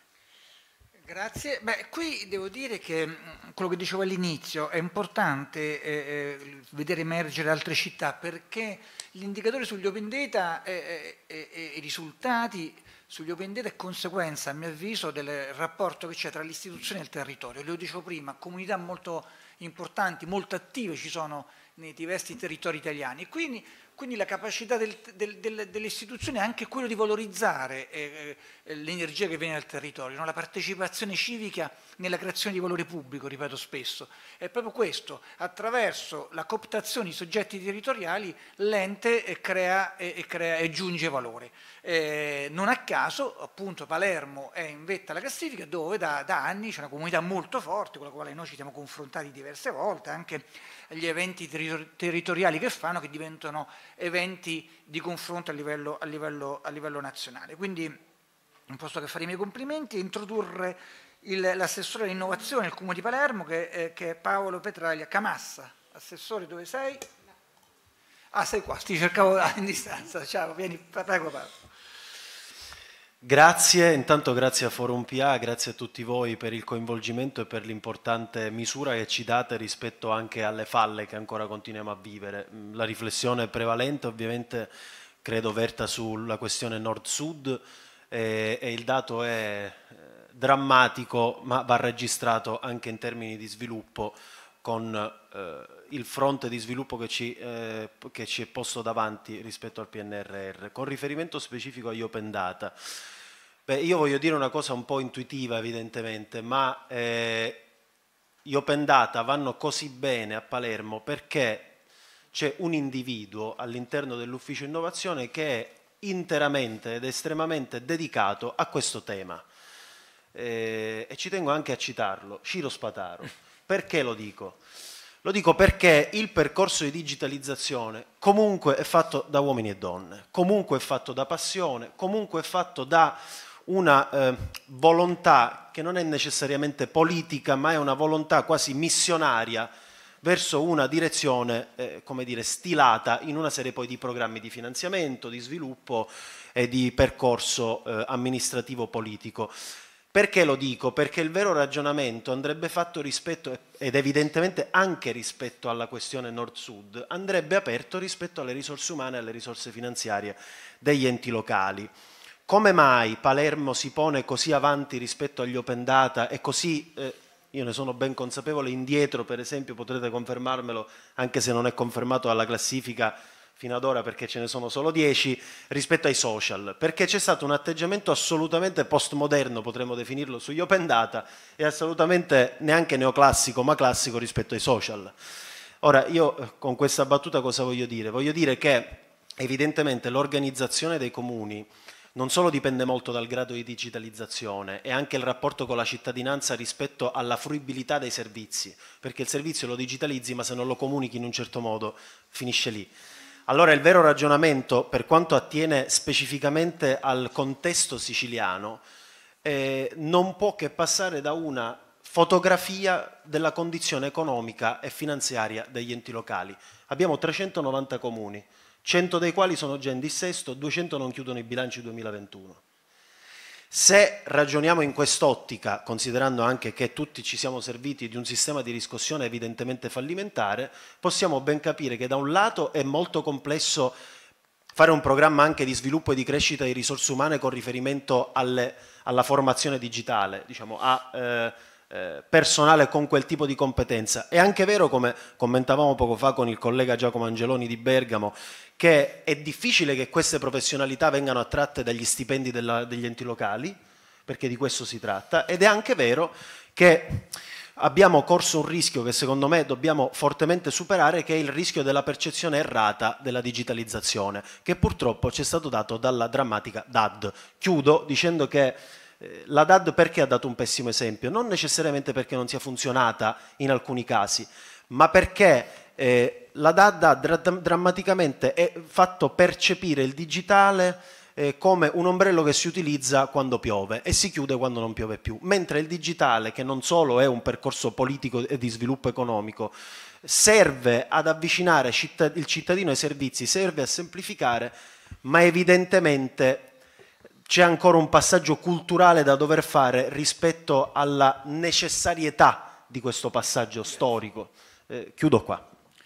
Grazie Assessore, grazie. Sì, a questo punto salutiamo anche Ciro Spataro che fanno parte appunto di questi innovatori che, che, ci seguono, però devo dire una cosa Assessore, sicuramente l'innovatore è colui che può fare la differenza e quindi le competenze sono fondamentali e quindi le risorse umane. Però se eh, eh, Ciro Spataro, visto che ormai è diventato un caso, non avesse avuto un dirigente che ben conosciamo, che adesso è in pensione, e che invece di trattarlo come il rompiscatole di turno gli, non, non, non, gli avesse dato quello spazio e quella fiducia, probabilmente adesso la città di Palermo non sarebbe a questi livelli. Perché sì. devo dire che, che, senza nulla togliere a Ciro, si è trovato in un contesto che era abilitante, quando spesso invece le istituzioni sono il contrario che contesti abilitanti. Prego, prego. Verissimo commento molto veloce, quota 100 non l'abbiamo approvata noi e quindi eh, il dirigente è andato in pensione legittimamente seguendo diciamo, il, il, le disposizioni di una normativa. Certo, eh, questo non c'è dubbio. Sostituiamolo con uno altrettanto aperto. A proposito di aperto, il prossimo, il prossimo, la prossima dimensione è proprio sull'apertura, ovviamente legato al tema, al tema degli open data, ma che sostituisce eh, quello che prima era il nostro indicatore di trasparenza. Prego Daniele. Sì, qui abbiamo dovuto fare un grosso lavoro perché appunto diciamo, l'indicatore di trasparenza tradizionale che usavamo gli anni scorsi non era più eh, aggiornabile.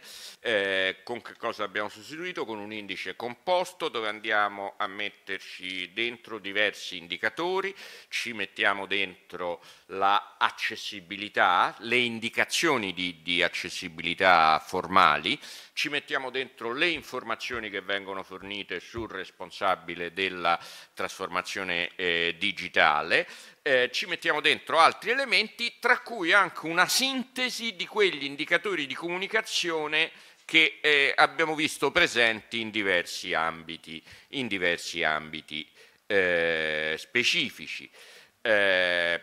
Appunto, eh, uno degli indicatori è quello delle dichiarazioni di accessibilità. Come vedete, anche se può apparire sorprendente, ci sono 28 amministrazioni in cui non siamo riusciti a trovare nella home page la, eh, il link alla dichiarazione di eh, accessibilità, altri casi in cui diciamo, non sono eh, complete. Come vedete il numero di amministrazioni che ha comunicato a IPA il nominativo del responsabile della transizione digitale è di 87 e non di 107 come dovrebbe naturalmente eh, essere. Ma ripeto, l'indicatore fondamentale è quello che mette insieme i diversi aspetti di comunicazione e di apertura. Qual è il ranking in questo caso? Eh, in cima troviamo Firenze e Trento, eh, seguite da eh, Bari e Milano a brevissima distanza, di nuovo Palermo, Cagliari, Cremona, Genova, Padova e, e, e Rimini. Come vedete qui c'è una presenza mista eh, di città di diverso tipo. Però eh, le variabili strutturali eh, purtroppo continuano a seguire eh, uno dei due modelli che abbiamo già visto, cioè la netto scarto a favore delle realtà settentrionali per quanto riguarda l'analisi eh, di, in termini di ripartizione e, eh, e eh, diciamo la, la, la, ormai eh, la possiamo da, considerare usuale eh, progressione eh, diciamo a seconda delle eh, dimensioni eh, demografiche. Mi viene in mente adesso che prima citavo la prima indagine che facemmo in un altro contesto appunto 25 anni fa, mi ricordo che il titolo era ehm, La telematica non divide l'Italia perché? Perché era la nostra prima indagine sulle città digitali ed era prevalentemente frutto dell'analisi di quello che si diceva prima, cioè di quel primo momento che, era, che, era, che nasceva dalle reti civiche e quindi da quello che erano movimenti spontanei dal basso. E quindi la nostra prima interpretazione, i sociologi sbagliano sempre per guardare avanti, era che la telematica fosse un'occasione per tutti, che la telematica non divideva l'Italia perché in effetti quella prima forma di eh, attivismo civico che veniva dalle reti civiche si distribuiva un po' a macchia di leopardo in tutto il paese. Ovviamente sbagliamo con la previsione, qui siamo adesso a commentare le tabelle nord-centro-sud, ahimè ahimè andando a ribadire un disegno di un paese fatto a più zone, a più colori, dove anche in questo, questa dimensione eh, differenza c'è. Non a caso commentiamo questo andando, andando al nord con il sindaco di Trento. Eh, benvenuto sindaco, commento di Franco Ianeselli, eh, sindaco di Trento. Ciao, eh, ciao, Franco e benvenuto. Trento è ai vertici ormai da, da, tanti anni di questo nostro lavoro, siete molto impegnati anche a livello di confronto. Voi fate quella bella iniziativa che è la settimana delle, delle, delle Smart Cities, diventa anche un momento di confronto con le altre, con le altre realtà. Prego sindaco. Sì, sì, grazie. Noi crediamo veramente tanto nel confronto perché insomma, sicuramente di solito non andiamo male nelle classifiche, però non è eh, bearsi delle posizioni, è, è, è, lavorare come fate voi su indicatori specifici e capire quali sono i punti di miglioramento. Per quanto riguarda l'apertura, sì, noi crediamo di aver descritto eh, molto bene eh, i, i 70 servizi digitali eh, che abbiamo. Adesso l'obiettivo è quello di completare diciamo, eh, la descrizione in occasione della migrazione dell'intero sito. Eh, c'è la descrizione dei servizi ehm, che produce eh, apertura, poi c'è anche mh, la, la, necessità di consentire eh, ai cittadini di, di, usufruire di questi servizi. Ecco, noi siamo sicuramente molto orgogliosi del fatto che nei nostri uffici eh, sono state rilasciate eh, 7.000 eh, identità digitali. Ehm, questo è un lavoro diciamo, dei nostri uffici periferici, de, de, degli uffici centrali, anche dell'accompagnamento per le persone in difficoltà, perché non c'è semplicemente la procedura di, di, di, riconoscimento finale, ma proprio abbiamo eh, realizzato un, servizio in presenza nei mesi in cui questo era possibile per eh, aiutare le persone eh, in difficoltà e quindi abbiamo adesso 20.000 pratiche digitali eh, solamente con, contando quelle ricevute attraverso la stanza del cittadino, lo sportello digitale. Um, apertura anche attraverso l'app, noi abbiamo questa app che si chiama La Mia Trento, qual è l'obiettivo? eh, superare questo florilegio di app che abbiamo avuto eh, negli anni, ovviamente noi contiamo qui su queste, oltre che su una struttura diciamo tecnica molto forte interna al comune, eh, sul rapporto con le fondazioni di ricerca, con FBK, allora mia, la mia Trento è un'app modulare, eh, vari moduli, il cittadino sceglie quali moduli attivare, noi adesso andremo nella direzione di implementazione ulteriore con nuovi moduli, e, e, il punto è poi di collegare l'app della città ai, ai servizi transazionali, no? quindi in maniera tale che si, qui, si possa procedere attraverso l'app anche a pagamenti e, e, e quanto uh, diciamo su, su, questo filone. Per il 2022 mh, siamo molto convinti ecco, di questo progetto che abbiamo di creazione di una Smart City Control Room noi siamo una città coinvolta mh, fortemente dal piano nazionale di ripresa e resilienza, per cui abbiamo assolutamente bisogno di, di dati, di governo dei dati, in una logica di apertura e di trasparenza. E poi rispetto a quanto si diceva, apertura sì, orgogliosi dell'apertura, però per noi adesso la sfida è reingegnerizzare i processi, per cui apertura sì, ma anche efficacia ed efficienza.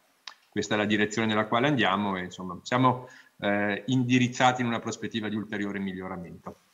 Grande, grazie Sindaco, anche a te eh, buon lavoro uh, e torniamo, torniamo, torniamo, in studio. Beh, la prossima dimensione è il wifi, dei, una delle dimensioni classiche in questa logica di, di Amarcord che, con cui abbiamo postato oggi la giornata. Mi ricordo che il, la prima città fu Venezia quando quando tra, tra, i primi, no, ti ricordi Paolo, che vedo qua, fu tra le prime a impegnarsi ad aprire. Mi ricordo facemmo un incontro a Venezia, era Michele Vianello era vice sindaco, con le altre città, un tavolo come questo che, eh, che, dal quale è emersa la famosa domanda che fanno tra di loro gli assessori giustamente, come? Cioè come hai fatto in effetti a, a rendere libero il wifi sul territorio? Mi ricordo facemmo un bellissimo incontro a Venezia. Prego Daniele. Grazie, questo, anche questo è un indicatore ormai consolidato ed è un indicatore anche questo basato su una rilevazione diretta effettuata da FPA. Tra tutte è la più complicata. Perché la più complicata? Perché eh, alcuni di voi comunicano indicando il numero di hotspot e dicendo che sono hotspot, altri comunicano il numero dei punti di accesso dicendo che sono punti di accesso, altri non si capisce bene che cosa eh, ci dicono e alcuni non comunicano proprio per niente. Eh, noi comunque cerchiamo, diciamo, sfruttando eh, la, la, progressiva correzione che ci dà il fatto di fare una rilevazione ogni anno, di eh, raffinare eh, progressivamente i, i, dati e anche in questo caso, insieme al dato quantitativo, noi misuriamo sia l'incidenza rispetto alla popolazione che la densità rispetto alla superficie dei punti di accesso eh, inseriamo anche una, eh, un elemento di, di, valutazione anche qui della, della chiarezza con la quale eh, io che cittadino o turista che mi presento in, in, quella città vengo a partire dal sito comunale instradato verso eh, la rete eh, wifi e le sue eh, modalità di accesso. Anche qui siamo in grado di ricostruire una serie storica importante, dal 2018 erano 89 i comuni, dove, i comuni capoluogo dove nel 2018 abbiamo rilevato in qualche modo, in qualche forma, l'esistenza di una rete wifi riconducibile direttamente o indirettamente alle amministrazioni comunali, oggi siamo arrivati a 104. Eh, vedete qui questo, uh, questa classificazione, questo tentativo di classificazione della comunicazione. Ora, una delle cose che facciamo, in, apro una brevissima parentesi, una delle cose che facciamo in ICT Club è ragionare insieme ai comuni su come noi misuriamo questi fenomeni, in modo da ricevere stimoli e suggerimenti per perfezionare. Il nostro è un, è un indice che si evolve, si evolve nel confronto con gli utenti. Qui che cosa abbiamo misurato? Beh, un conto è se io eh, diciamo, metto a disposizione dei cittadini una mappa navigabile con i punti di accesso che mi consente di muovermi e di raggiungerlo, un conto se la mappa invece è fissa, un conto è se mi limito a elencare eh, i punti eh, diciamo per, per, per iscritto, un conto se do solo la notizia, un conto, e vedete il caso abbastanza strano, cioè ci sono amministrazioni che hanno reti attive ma, ma, ma sulle quali sul sito non si, non si riesce a reperire eh, le relative indicazioni. Eh, top 10 comuni per eh, il wifi, qui sono anni che va avanti la sfida Firenze, Firenze e Bergamo, mh, mm, Firenze prima, Bergamo, Cagliari, eh, Venezia, citata, Trento di nuovo presente, Milano, Verona, Bologna, Brescia e eh, Modena.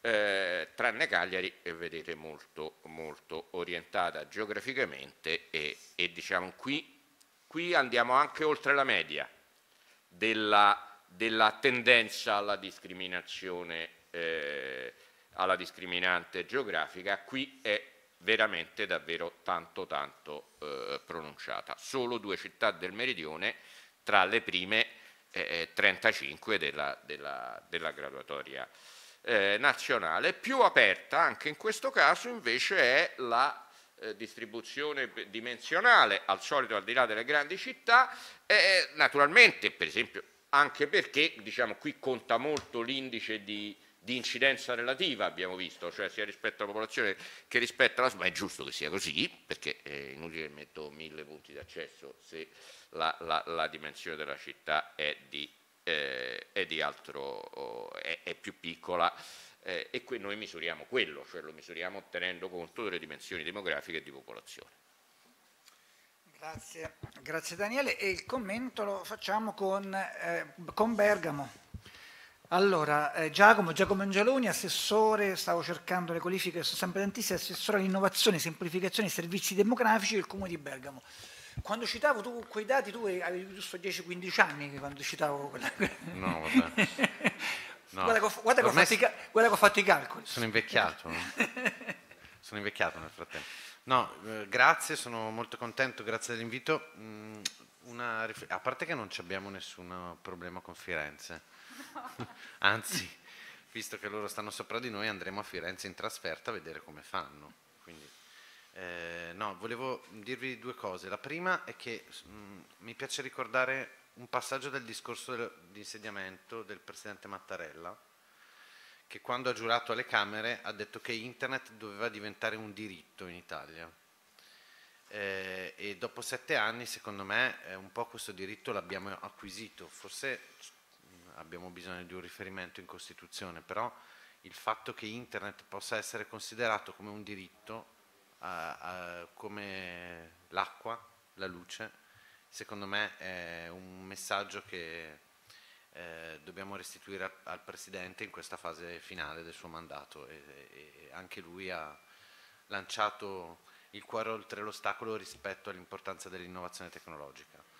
Rispetto al wifi noi siamo molto contenti perché è un progetto che per noi è un fiore all'occhiello del, del, dell'esperienza di innovazione esterna ai servizi eh, del comune, siamo felici anche perché continuano a chiedercelo ovunque, quindi in progressione, adesso non voglio dare i numeri che poi non riuscite a rendicontare, però eh, in progressione siamo passati da 60 punti a 180, adesso siamo a 220, insomma sta crescendo e continuerà a crescere. In prospettiva il wifi ha tre o quattro innovazioni future che in Italia sono ancora di là da venire ma noi lo faremo in modo sperimentale anche eh, eh, senza, eh, semplificando il più possibile.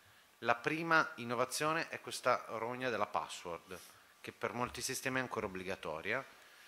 Se guardate Wi-Fi Barcellona, e è quello a cui dobbiamo guardare, la password non esiste da almeno sei anni. Se trovi il segnale ti colleghi e vai. Mica eh, hanno avuto Pisano come ministro allora. Eh, infatti. La, la, la, seconda eh, cosa che vogliamo fare è farlo diventare un po' un progetto che unisce eh, le due città capitali della cultura del 2023. Sapete che insieme a Brescia noi saremo Bergamo e Brescia capitale a singolare della cultura nel 2023 e siccome abbiamo lo stesso sistema di wifi lo trasformeremo e diventerà Brescia-Bergamo o Bergamo-Brescia adesso no, eh, wifi per il 2023 con l'obiettivo di davvero rendere connesse fra di loro le due città, addirittura stiamo inventando una pista ciclabile che collegherà le due città che sarà illuminata dal Brescia-Bergamo Wi-Fi. Questo è per lanciare sull'anno prossimo. Insomma. Grazie.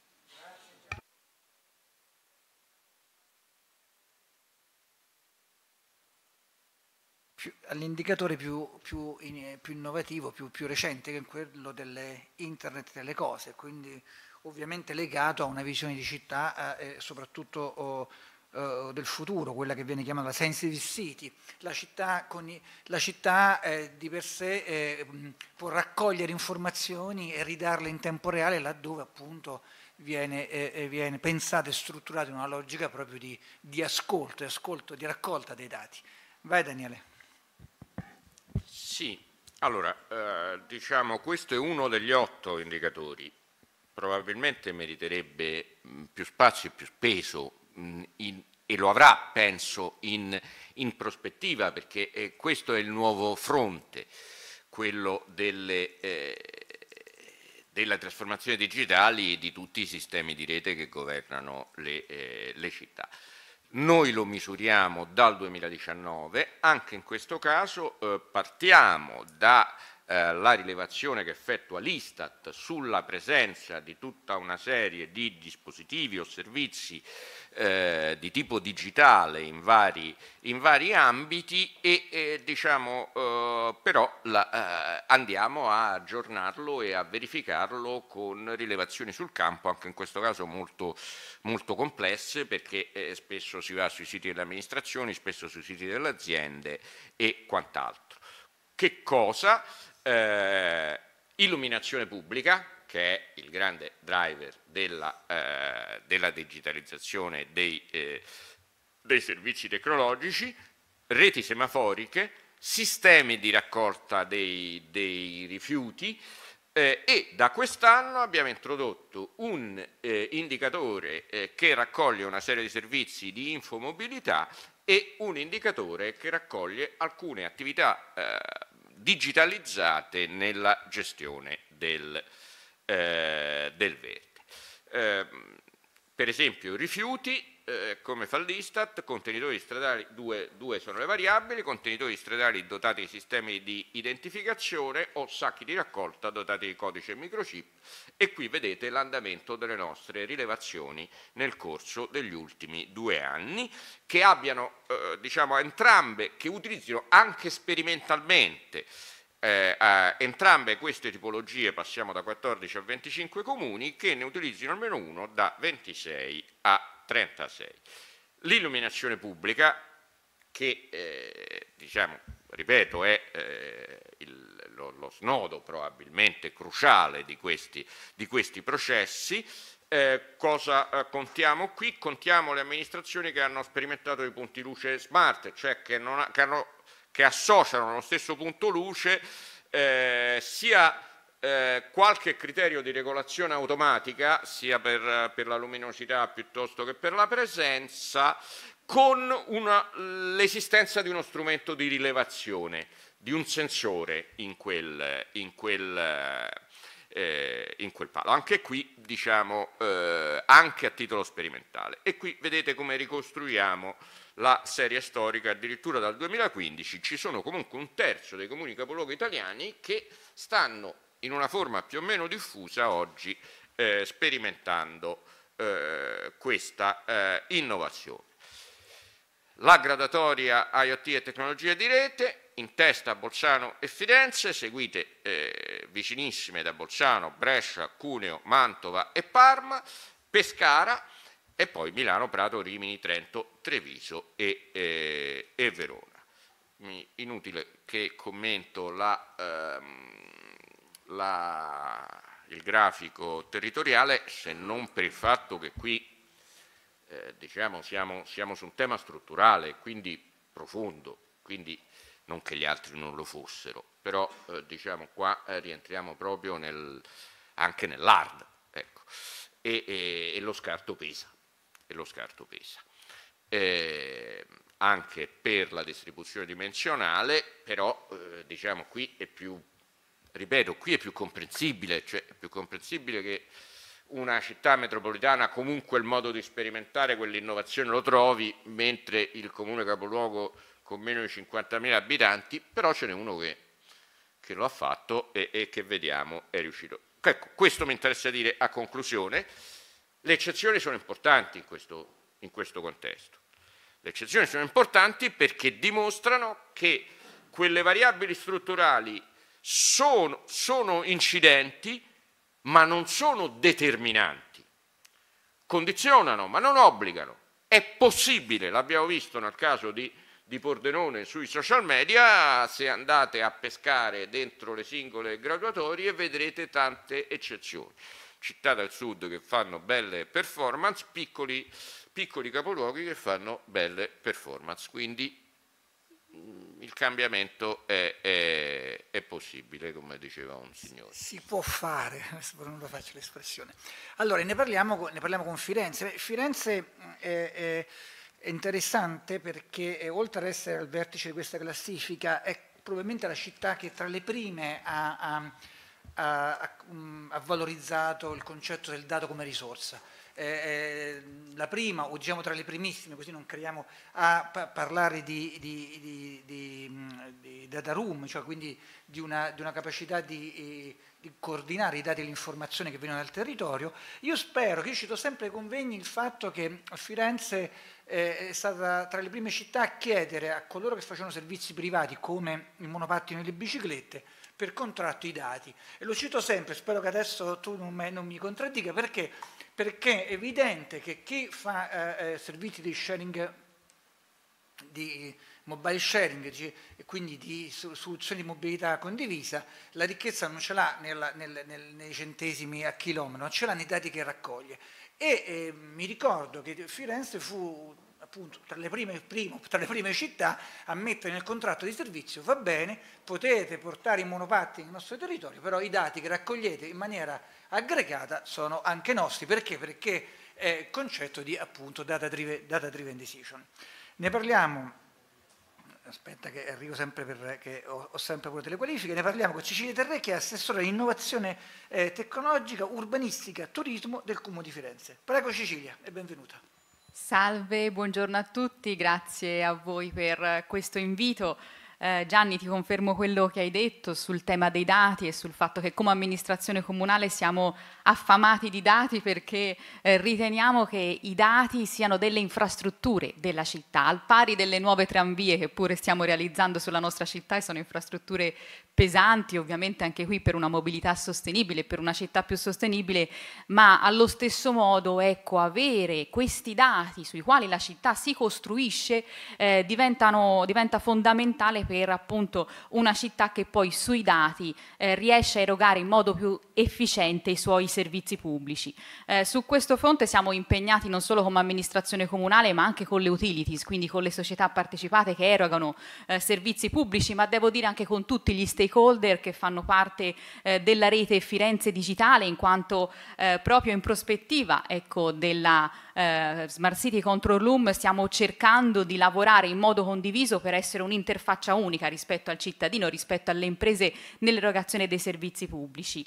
Eh, il prossimo anno, più o meno di questo periodo, quindi vi invitiamo già all'inaugurazione, apriremo la Smart City Control Room dove ecco, uniamo all'elemento del digitale e l'elemento dei dati l'elemento del capitale umano e quindi con eh, i dipendenti delle società partecipate e ovviamente anche con i dipendenti eh, dell'amministrazione pubblica ci ritroveremo in modo tale da dar vita e dar corpo a questo progetto che vuole dare appunto una visione integrata della città eh, in modo tale ecco, da mettere a fattor comune tutti quei dati che dai vari servizi e dalle varie direzioni riusciamo ad avere.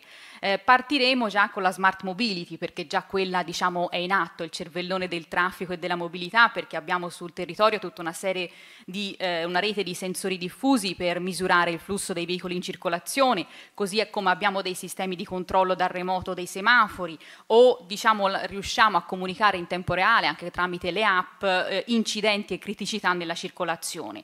Eh, allo stesso tempo, sempre sulla nostra città, sul fronte dell'illuminazione pubblica, anche qui abbiamo un controllo controllo, quindi tutta una serie eh, di sensori come vedevamo prima, ecco, che avete rilevato anche dalle vostre statistiche, così come ecco, riusciremo ad integrare banche dati e sistemi software eh, delle varie direzioni partecipate che vanno dai sistemi informativi della manutenzione, anche appunto dei, dei soggetti che hanno il global service e lo gestiscono, ai sistemi informativi del verde pubblico che invece abbiamo realizzato in casa grazie a fondi Pommetro che sono stati fondamentali ecco, per crescere come città da un punto di vista digitale e che pure ci stanno accompagnando in questo percorso della realizzazione eh, della Smart City Control Room eh, che porteremo avanti anche sul fronte dei rifiuti, pure qui abbiamo fatto un grandissimo investimento che avete eh, rilevato proprio per dotare di sensoristica tutti eh, diciamo, i, i, i, bidoncini del sistema porta a porta che abbiamo implementato. E passiamo ora al cassonetto intelligente con quella app che ci permetterà pure di tracciare i rifiuti.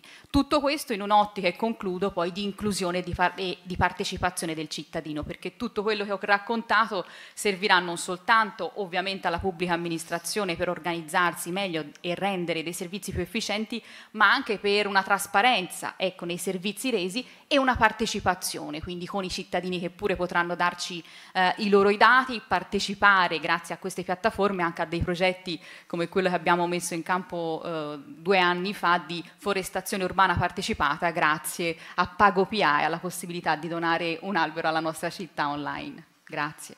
Grazie, grazie a te, grazie a te. Siamo arrivati alla fine. Noi lo scorso anno avevamo invitato una bravissima violinista che tra una dimensione e l'altra suona una sorta di stacchetto e adesso alla fine ci accompagnava verso la, la, la, così, le considerazioni finali. Eh, non ti posso fare lo stacchetto Daniele, eh, quindi facciamo... Eh no, se... non, non, lo faccio, non lo faccio, è inutile. E, e quindi andiamo, andiamo, verso le conclusioni. il disclaimer di ogni anno, è evidente che finisce la classifica, eh, ma è anche evidente, e per noi è importante sottolineare che lo strumento è un strumento di lavoro, di confronto. Devo dire che da quando lavoriamo insieme, e qualcuno di voi lo può, lo può confermare, eh, questa occasione è veramente un'occasione di, di, scambio oh, di esperienze tra città, cioè non è non è eh, una distinzione tra primi e ultimi o tra primo e terzo della classe, ma un'occasione per confrontarsi. Molti di voi ce lo ribadiscono, mh, lavorando insieme alla classifica, agli indicatori, alla metodologia, abbiamo creato appunto un tavolo di confronto che secondo me eh, crea eh, valore in maniera reciproca per tutti quanti. Quindi in questo modo dobbiamo vedere l'indice finale. È evidente che appunto da quelle, da quelle otto dimensioni ne esce una che è quella finale. Daniele. Grazie Gianni. Dunque, 130 variabili, 35 eh, indicatori, 8 indici settoriali, un indice finale. Eh, ripeto le due avvertenze.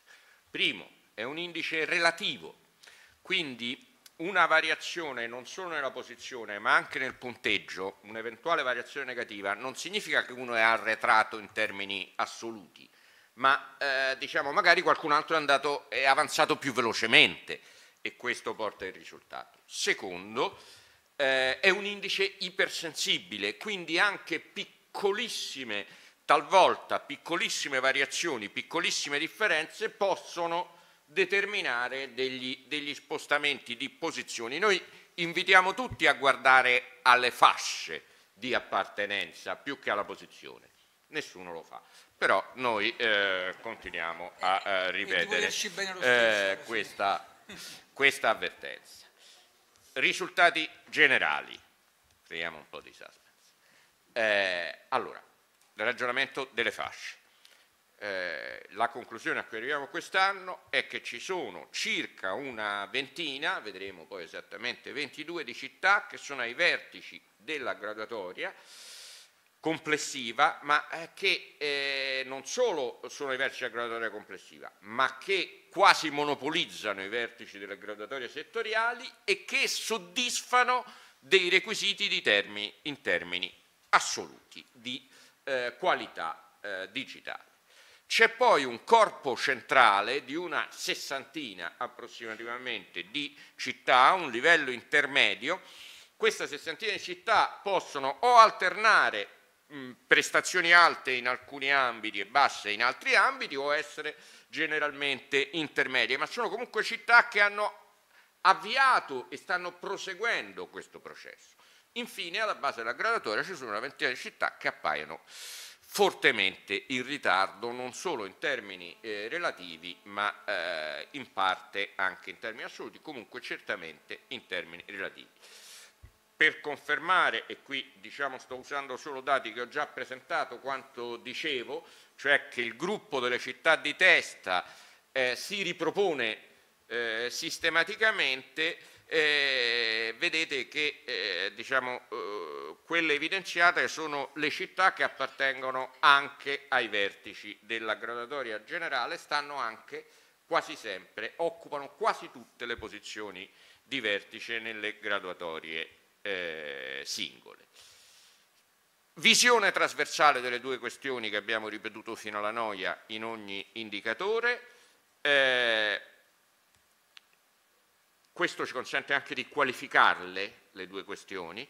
la questione meridionale digitale. Qui vedete confrontato il punteggio medio dei capoluoghi del mezzogiorno col punteggio Italia fatto 100.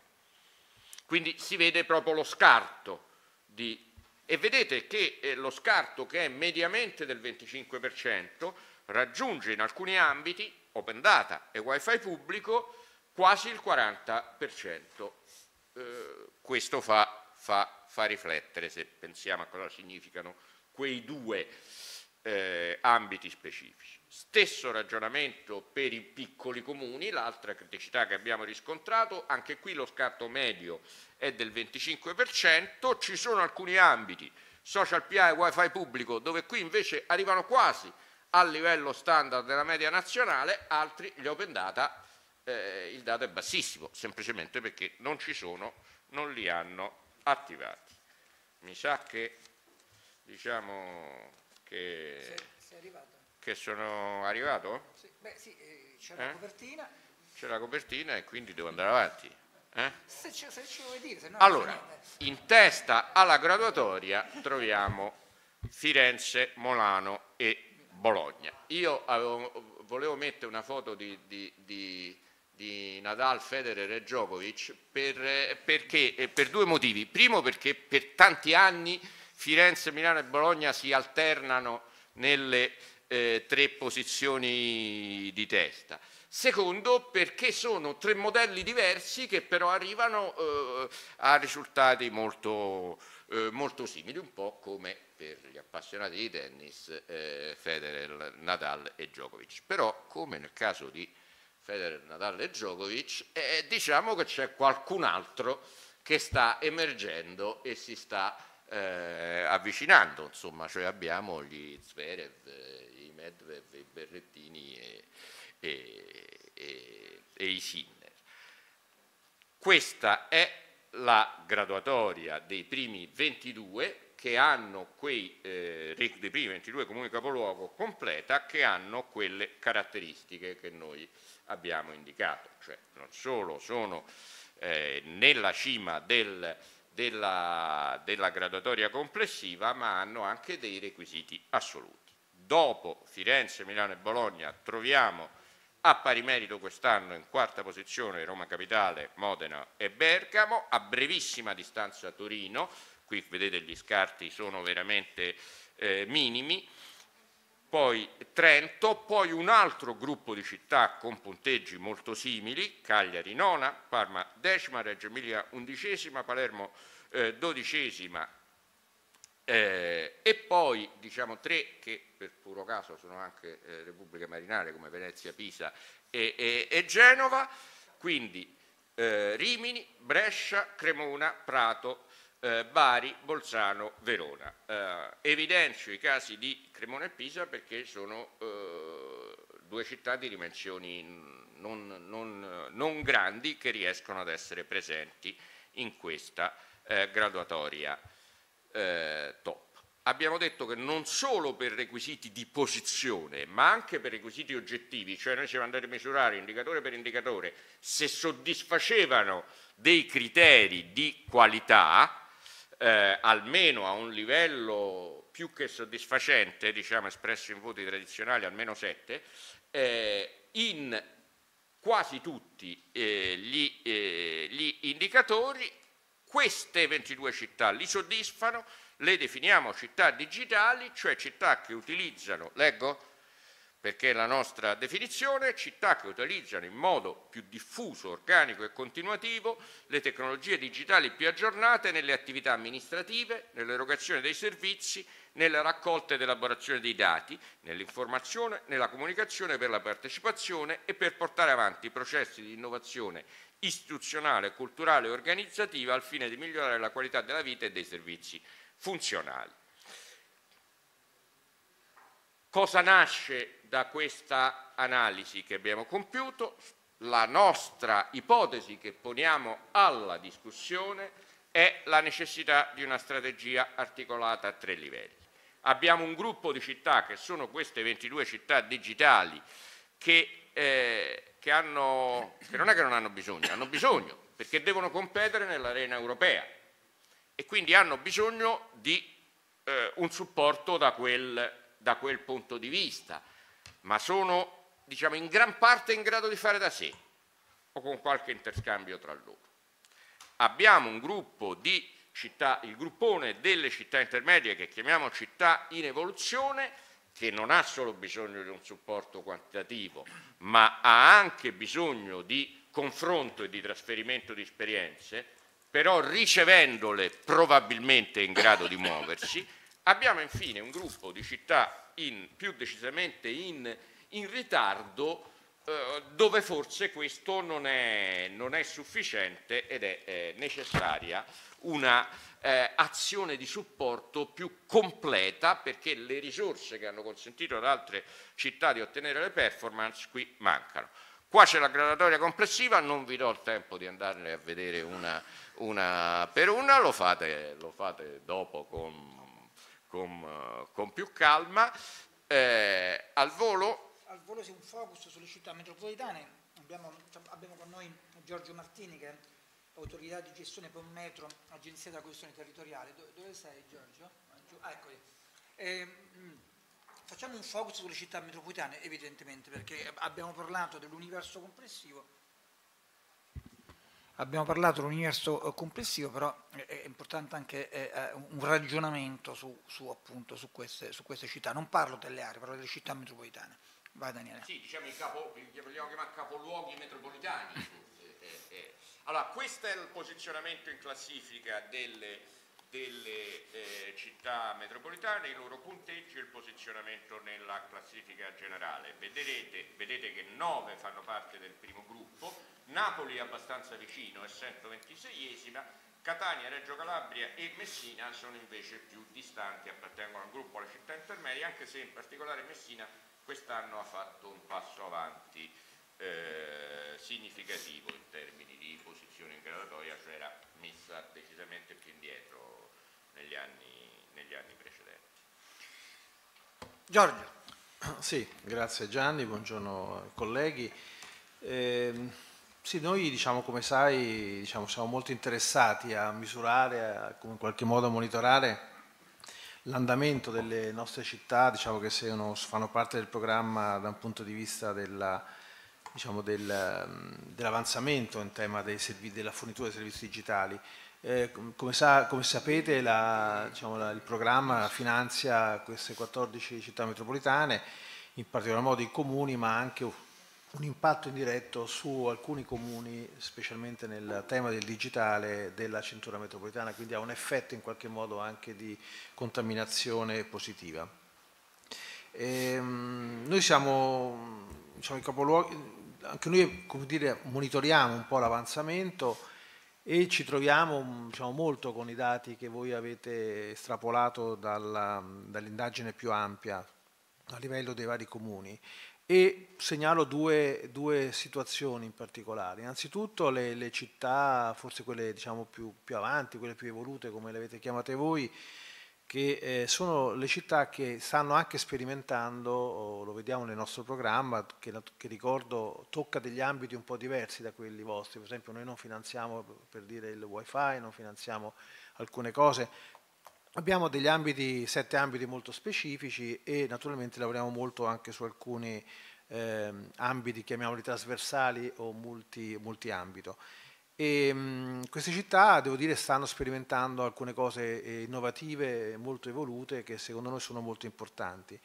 E devo dire però che anche le città che sono un po' più indietro, eh, apparentemente, stanno avanzando molto. Il famoso gap che voi avete evidenziato tra diciamo, l'area la, del centro-nord e l'area meridionale, ecco, se io vado a misurarla da un punto di vista dell'incremento percentuale dei servizi, come ricordava anche adesso eh, il caso per esempio di Messina, ci sono delle percentuali molto alte. Abbiamo delle città che da quando noi siamo partiti, ricordo nel 2014-2015, hanno anche dati come una percentuale di incremento che tocca anche il 150-170%, quindi vuol dire, chiaramente il punto di partenza era molto più arretrato, ma vuol dire che c'è un segnale di risposta positiva.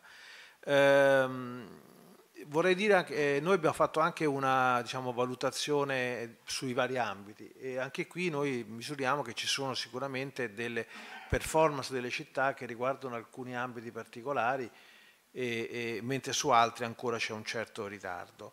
Eh, ricordo che il programma ha messo a disposizione delle città molte risorse, eh, c'è quasi il 50-60% delle risorse eh, sul digitale sono state utilizzate già, eh, sono, molti progetti sono completati, quindi si possono misurare anche gli effetti o, diciamo, oggettivi sulla, sulla, cittadinanza e sulla qualità dei servizi, ma volevo segnalare appunto che il lavoro è ancora molto in progress. Ricord, eh, il programma ha ricevuto importanti risorse in React EU, quindi eh, sul campo digitale le città hanno scelto di dedicare un altro centinaio di milioni, quindi su nuovi progetti che sono, sono in corso di, di, sviluppo e stiamo ragionando molto già sulla nuova programmazione 21-27 che il programma riceverà risorse molto più importanti di quelle che ha avuto adesso e anche qui una grossa parte sarà dedicata al tema del digitale, in particolare su temi come la cultura e il turismo che sono un po' nuovi nella nuova programmazione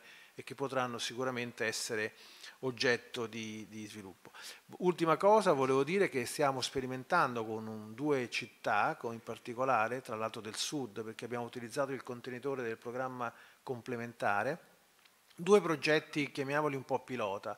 Uno si chiama, lo stiamo realizzando col CNR e con la città di Catania, su una grossa piattaforma sul, chiamata Gemello Digitale, che in qualche modo è un'evoluzione delle, delle, control room che già molte città hanno uh, applicato e attrezzato all'interno utilizzando le risorse del, del POM Metro e l'altra è quella della creazione di una, di una, vetrina, un ecosistema digitale dove tutte le città possono in qualche modo esporre i propri prodotti e diventare quindi una vetrina che oggi è partita a livello di città diciamo, del sud, perché ricordo appunto che le risorse le abbiamo ritrovate sul, sul programma complementare, ma che è nostra intenzione, questo come il progetto del CNR, farlo, farli diventare due punti di partenza per tutte le città del, del programma, per la nuova programmazione. Ultima osservazione che volevo fare, ehm, il prossimo programma si aprirà anche a alcune città medie del sud, in particolare sul tema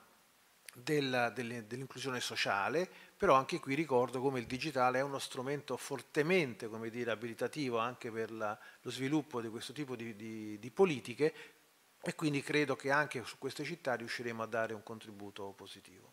Grazie.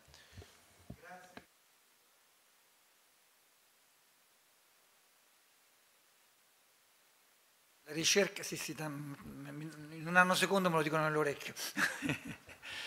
il, il, la ricerca ovviamente è stata possibile appunto grazie al lavoro di mesi di un gruppo di lavoro che coordinato da, da Daniele Fichera, ma è stata, è stata, possibile grazie anche a quello che da qualche anno è il nostro sponsor, ma direi il nostro partner, perché, perché Nelix è, non solo è un soggetto privato attore di queste trasformazioni, ma loro stessi da tempo stanno ragionando anche proprio su come misurare eh, eh, le città e in particolare come misurare la, la, quello che voi chiamate eh, l'index di aspetta fammi dire come lo chiamate che, di circolarità. Di circolarità e quindi andare a vedere appunto come le città si pongono rispetto a, a, a, alle diverse possibilità di circoita urbana, no? quindi digitalizzazione, ambiente, energia, mobilità, rifiuti, eccetera. Eh, partner appunto l'iniziativa, ma partner dicevo anche in termini di, di, di, di ragionamento, in termini metodologici, è Armando Fiumara, Enelix. Armando. Grazie mille. Allora, intanto di nuovo complimenti perché il lavoro che fate ogni anno è eccezionale. E voglio spendere due parole su questo perché se ne è parlato anche un po' prima dell'importanza della misurazione, della necessità di dotare le città, la pubblica amministrazione in generale, ma anche i privati, di sistemi decisionali basati sui dati. Ehm, io credo che alla fine il grande sforzo che si fa ancora oggi è proprio quello di eh, reperire i dati, interpretarli, analizzarli, armonizzarli perché sono difformi, quindi veramente è uno sforzo che facciamo anche noi, eh, sia per i nostri dati interni che per quelli dei nostri eh, comuni clienti. Alla fine mi rendo conto che lo sforzo dietro è importante, per cui riuscire ad arrivare a questo risultato veramente vi faccio i complimenti. Mm. Eh, ci sono tante cose che poi che, che si registrano, che sono molto interessanti. Una è la capacità di risposta che eh, la nostra pubblica amministrazione ha avuto negli ultimi due anni rispetto al Covid, cioè proprio di accelerare rapidamente sul digitale. Ehm, l'altro è quanto ancora spazio ci rimane di, per intervenire in ambito per esempio di IoT piuttosto che di, di altre, eh, in altri settori che ci consenta di essere non solo in grado di rispondere ma di poter prevenire certe cose, quindi di avere dei modelli predittivi che ci consentano di intervenire prima che accada qualcosa di, uh, insomma, di, di, di drammatico o di più difficile da affrontare. Um, su questo quindi, diciamo, visto che si diceva prima che non è una classifica, ma poi alla fine tanti, voi guardate le classifiche, noi possiamo aiutarvi a guadagnare posizioni in classifica, quindi in caso su più o meno tutte quelle dimensioni. Loro, non noi. Perché... noi come l'Elix. In questo senso, no, citava giustamente eh, Gianni il Circular City Index, che è un indice che noi abbiamo lanciato, che chiaramente non è un'analisi così profonda ehm, come lo studio dei City Rank, ma è un indice che viene calcolato sulla base di eh, Open Data, viene calcolato per tutti i comuni italiani, quindi non, non solo per, eh, per, i capoluoghi, ed è eh, meravigliosamente gratuito, per cui eh, può essere navigabile sul nostro sito che è nell'x.com previa registrazione da parte di tutte le pubbliche amministrazioni e restituisce sostanzialmente un'analisi, eh, una preanalisi di quattro dimensioni che sono ambiente, energia, mobilità, gestione dei rifiuti e digitalizzazione, ciascuna delle quali si apre in ulteriori KPI che possono essere misurati, per cui si dà un'indicazione all'amministrazione di come ci si posiziona su questi aspetti e quindi poi eventualmente diciamo, pianificare delle azioni per migliorare su quegli aspetti. Oppure semplicemente confrontarsi e magari fare un'analisi più approfondita rispetto a quello che un indice basato su Open Data uh, può fare. Um, quindi insomma, invito uh, tutti a registrarvi ad andarlo a guardare, poi presto lanceremo altre cose che vanno in quella direzione, orientativamente a metà dicembre, quindi ci sarà qualche ancora novità in questo aspetto.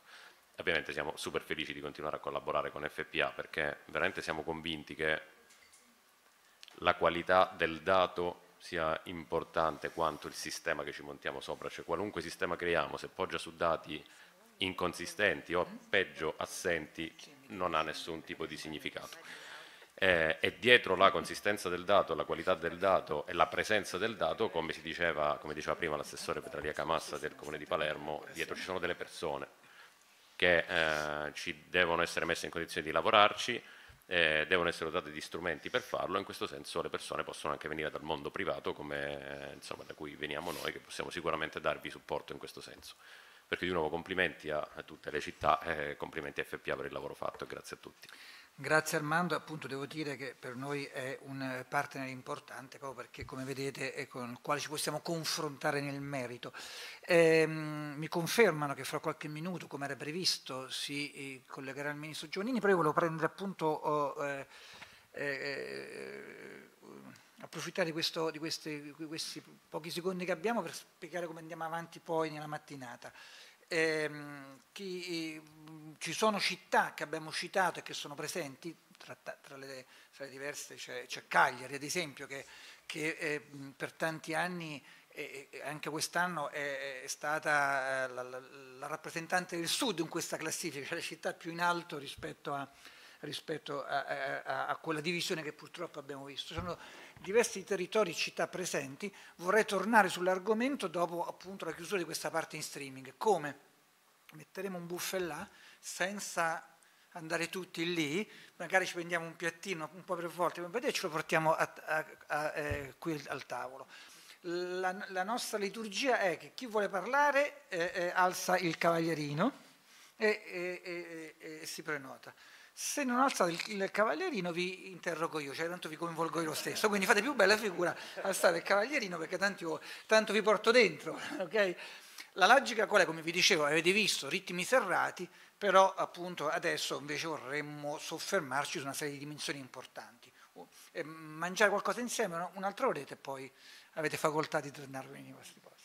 Eh, prima di, mh, mm, e questa quindi è la seconda fase, chiudiamo, dopo l'intervento del Ministro chiudiamo lo streaming, prendiamo a, a turno qualcosettina lì senza, senza ammocchiarvi e continuiamo il ragionamento. Ah, però prima che tutto ciò avvenga, Antonella, hai aperto, non ti dico di chiudere perché il processo è ancora ampio, ma una prima considerazione. Prego. Una considerazione che indubbiamente eh, i lavori di questa mattinata sono, sono stati utili, interessantissimi i risultati del vostro lavoro e, è molto interessante anche la risposta del, dei comuni presenti, no? Nel, nell'accogliere anche gli elementi in qualche modo critici che li vedono e la spiegazione del perché magari non sono stati fatti alcuni passi in avanti oppure le scelte che hanno motivato a crescere in, uh, in questa classifica. Io uh, credo che sia molto importante in questo momento uh, il lavoro che ci apprestiamo a fare, eh, perché per, come vi dicevo all'inizio, per la prima volta, veramente in tantissimi anni che seguo questo settore, ci troviamo ad avere un ammontare di risorse complessive mh, mm, abbastanza significative e una disponibilità, soprattutto questa, da parte dell'amministrazione centrale nel lavorare insieme e nello strutturare insieme eh, quelle che saranno eh, le piattaforme nazionali, eh, definire insieme i progetti strategici, capire le criticità. Io mh, si è aperta questa stagione di confronto e molti di voi che sono seduti al tavolo, voi assessori, ma piuttosto i vostri dirigenti, stanno lavorando con noi particolar modo eh, su una, una, delle piattaforme che io ritengo più importanti, quella che ci garantirà effettivamente l'interoperabilità tra le pubbliche amministrazioni e quindi l'evoluzione dei servizi.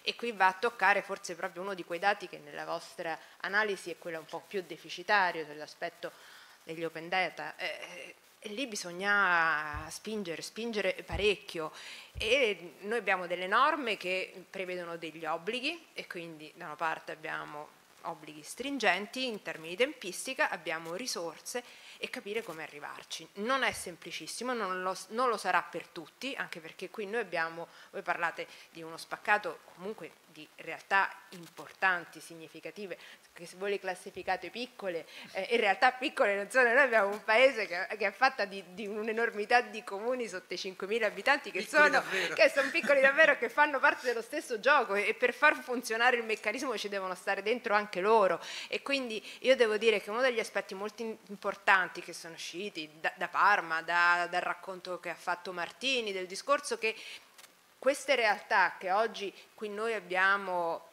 ascoltato. Sono anche un punto di riferimento per i territori e per le amministrazioni più piccole che gravitano nella loro area, siano esse città metropolitane o ambito provinciale come sta avvenendo per Parma, come avviene per Bergamo, Brescia, Brescia è fortissima con i comuni dell'Interland nel poter garantire dei servizi. Io credo, ritornando alla tua prima domanda, che quella sia la strada eh, su cui puntare. E quello che noi stiamo cercando di trasmettere anche anche al Ministro Colau e al suo staff nell'utilizzo delle risorse finanziarie, troviamo dei meccanismi che consentano di facilitare l'utilizzo di queste risorse, immaginando anche di individuare in alcune realtà che si sentiranno di poter fare questo tipo di scelte, questo impegno, che è un impegno gravoso, ma possano essere loro soggetti in qualche modo che accompagnano e quindi gestiscono in termini di risorse finanziarie e garantiscano poi il servizio al piccolo comune dell'area. Quindi come centrali di acquisto, eh, centri di supporto per l'elaborazione di servizi, chiamiamole come volete, però eh, l'idea adesso che si sta mettendo in piedi di utilizzare il meccanismo sul fondo innovazione, quindi voucher staccati a singola amministrazione sulla base dimensionale dei comuni, sì, ma vediamo se riusciamo anche a trovare un, meccanismo diciamo, intermedio su base volontaria partendo dalle città metropolitane che ce l'hanno un po' nel loro, nella loro definizione e anche con strumenti già avviati come il POM-metro, ma non solo città metropolitane ma realtà importanti come quelle che oggi abbiamo avuto modo di apprezzare e verificare in termini di qualità di servizi che sono stati realizzati. Altra cosa, perché tanto vedo che il ministro ancora non c'è, eh, e allora, no, è proprio per, eh, sì, noi vediamo qui che la Rosaria ancora non è, eh, tanto poi ci sarà qualcun altro che potrà, sì, sì, eh, figuriamoci, no, no, qui tutto, Potresti io potrei parlare per, per altre 40 ore, però no, no, assolutamente, no, no, però invece proprio per un tema che poi forse presenterà anche il ministro all'interno del PNRR c'è anche una misura piccola importante però dal mio punto di vista che riguarda le città metropolitane quindi la realizzazione di questa piattaforma MAS, Mobility as a Service, individuata in fase sperimentale eh, solo per le città metropolitane e in, partirà con una selezione che avverrà brevissimo di tre realtà distribuite possibilmente nord, centro, sud.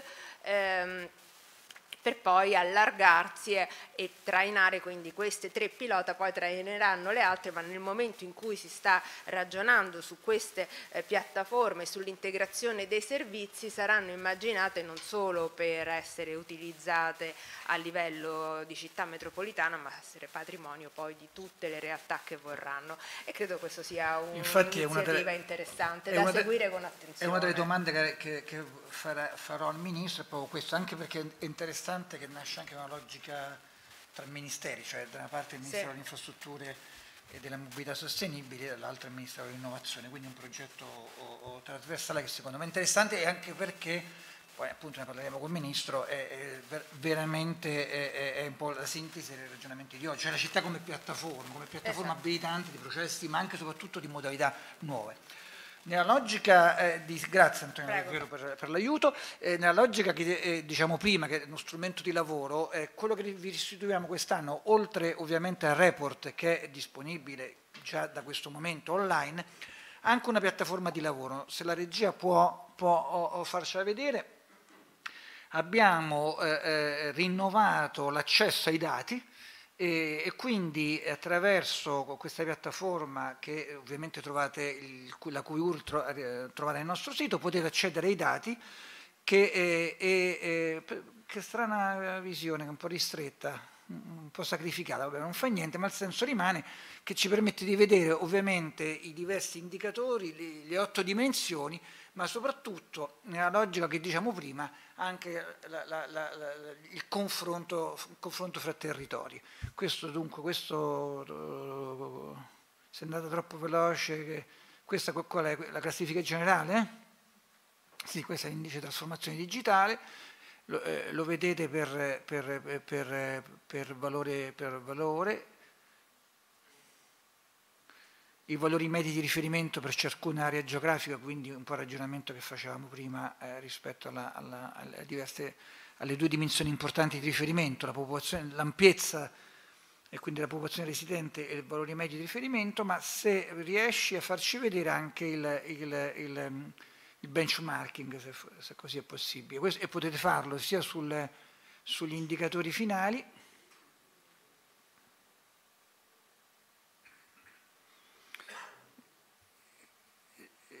vai con il benchmarking. Vedete, potete, beh, questo lascia anche questo, sono due, le due grandi città, Roma, Roma Capitale e, e, e, Milano, e per ciascun indice vedete, vedete il valore, il valore delle, della singola città. Eh?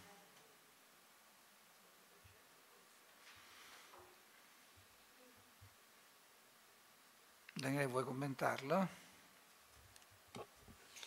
Sì, diciamo, siamo ma siamo nella logica di massima eh, disclosure delle informazioni, che per noi è un elemento essenziale della nostra eh, cultura e del nostro atteggiamento eh, scientifico eh, rispetto ai lavori che, che facciamo. Eh, e a questo fine appunto rendiamo disponibile su piattaforma accessibile online tanto per essere eh, coerenti con, con, noi stessi, tutti i dati degli otto eh, indici che noi utilizziamo, rappresentabili, l'avete visti prima, su cartografia eh, geografica con eh, diciamo, i soliti cromatismi per l'indicazione dei, dei livelli, su valori singoli in termini di confronto tra città o confronto con le medie. Eh, aggiungo a questo che eh, per le città socie di ICT Club noi forniremo poi anche un report eh, in cui eh, diciamo in, indi, indice per indice vengono eh, confrontati i valori degli otto indici con le medie eh, nazionali di ripartizione e di dimensione di riferimento un ulteriore servizio, diciamo così, a valore aggiunto prevede uno sviluppo di questa analisi a livello di singoli indicatori, cioè a livello dei eh, 35 indicatori. Eh, anche su questo noi possiamo oh, eh, fornire i ranking, eh, i confronti, i valori per ogni, eh, per ogni città. Questo strumento è invece disponibile eh, a tutti ed è facilmente eh, navigabile e eh, diciamo eh, ciascuno può eh, dare un, eh, un'occhiata, un, un, avere immediatamente una rappresentazione della propria situazione o della situazione generale in quel determinato settore. Io voglio cogliere l'occasione per ringraziare le persone che hanno lavorato a queste eh, rilevazioni, eh, alle spalle di questo risultato ci sono eh, letteralmente mesi di lavoro di un team di, di persone che, eh, e voglio ringraziare in particolare eh, Clara e Francesca che su questo hanno lavorato con costanza in questi, in questi mesi, eh, sopportando anche eh, il sottoscritto. ed è stato un lavoro puntuale che noi mh, speriamo di perfezionare nel corso degli anni. Tutto questo senza la partnership con NLX non sarebbe stato onestamente eh, possibile perché eh, diciamo, non avremmo potuto eh, destinare, indicare questi, questi, mesi di lavoro a queste, a queste rilevazioni. Ci auguriamo che soprattutto attraverso il lavoro del tavolo di metodo dentro a ICT Club e con la collaborazione dei nostri partner scientifici come Tagliacarne e Istat, di poter continuare negli anni a, ad andare sempre un po' più avanti, sapendo che eh, diciamo, i, peraltro dobbiamo inseguire una frontiera in movimento, ecco, questa è la complicazione rispetto ad altri strumenti tradizionali nel senso che eh, le, cose, le, cose, cambiano, magari mh, tra qualche anno avremo qualche altra... Ecco, la Smart City Control Room è, è, è, un tema la cui presenza o assenza oggi possiamo misurare in termini molto vaghi chi è partito, chi non è partito, e magari tra qualche anno invece saremo in grado di misurare offre questo eh, o, piuttosto che, eh, che quest'altro. Eh, ringrazio se, veramente tutti. Sembri Mentana quando stiamo aspettando, oddio, stiamo aspettando le proiezioni, bisogna prendere tempo. Adesso lo capisco, poveraccio. Mi, e, e, quindi andiamo un po' in avanti. Eh, mi stanno dicendo che il ministro ha avuto un'emergenza arriverà. E quindi andiamo un po' in avanti con il programma. Ecco il Ministro. Ministro, benvenuto.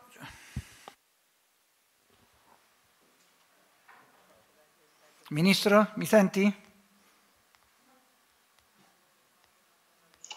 Ecco, adesso dovresti sentirmi. Benvenuto Ministro, Ministro eh, Enrico Giovannini, Ministro delle Infrastrutture e, delle mobilità, e della Mobilità Sostenibili.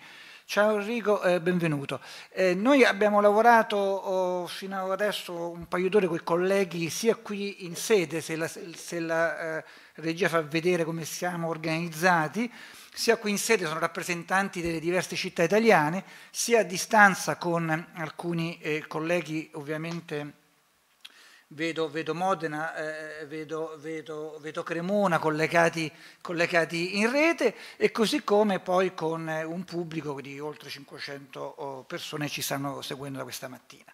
Eh, abbiamo presentato la decima edizione della nostra, eh, della nostra, della nostra indagine. Eh, cosa emerge? Beh, ehm, tu l'hai vista che te l'abbiamo anticipata, eh, c'è una ehm, decisa accelerazione eh, di questi ultimi due anni rispetto a quelle che sono le dimensioni digitali delle nostre, delle nostre città, rimangono appunto delle eh, eh arretratezze complessive di sistema, visto l'indice DESI quest'anno ci, ci, ci, ci colloca eh, in ventesima posizione in Europa, con un salto di cinque posizioni, ma sempre ventesimi eh, rimaniamo, quindi abbiamo un'arretratezza, ma quello che è più che evidente, nonostante il salto in avanti, nonostante il fatto che le città questi due anni eh, eh, abbiano utilizzato al meglio le nuove tecnologie, le piattaforme digitali per poter stare vicino alle famiglie, alle imprese, ai cittadini, un, questa differenza territoriale, cioè comunque eh, eh, anche sul tema della trasformazione digitale abbiamo un'Italia più colori, abbiamo un'Italia più colori dove appunto puoi immaginare la differenza importante tra il nord, il centro il sud, e il sud del paese. Ah, la domanda che, che, che ti farei è, è, è, parte proprio da questa, cioè come ehm, sappiamo benissimo che eh, il ruolo delle città e dei territori per, come si abusa a dire, scaricare a terra quelli che sono gli obiettivi del PNRR, questa grande opportunità che il Paese ha, come far sì, e il tuo Ministero è uno dei ministeri più importanti da questo punto di vista, come in termini di obiettivi e di risorse, come fare in modo che eh, questa opportunità no, sia un'opportunità per tutti e non per dividere ancora il Paese, ma invece per, per, per cercare di, di, farlo diventare eh, eh, unito, omogeneo verso un progetto, un progetto comune. Prego Ministro. Grazie, intanto complimenti per questo lavoro, ci confrontavamo su questo aspetto eh, prima nella mia precedente vita e eh, indubbiamente questo tipo di rilevazioni di indici compositi eh, sono utili eh, soprattutto perché domandano eh, sì ma poi cosa viene dopo? Cioè è una fotografia non tanto per la classifica quanto per il miglioramento. E da questo punto di vista eh, il fatto che ci siano questi miglioramenti, che il PNRR, ma non solo il PNRR, preveda investimenti rilevanti, pone al centro della questione non una questione tecnica, ma una questione di governance. Vorrei ricordare eh, da questo punto di vista eh, anche la novità contenuta nel decreto legge fiscale che è in conversione al, in Parlamento sulla modifica alla legge sulla privacy che rende eh, rigoroso ma molto più semplice l'uso da parte delle amministrazioni pubbliche dei dati quando c'è una finalità pubblica. Guardate, questo è un passaggio eh, molto molto rilevante perché sappiamo che storicamente il nostro paese ha avuto un atteggiamento molto restrittivo su alcuni aspetti.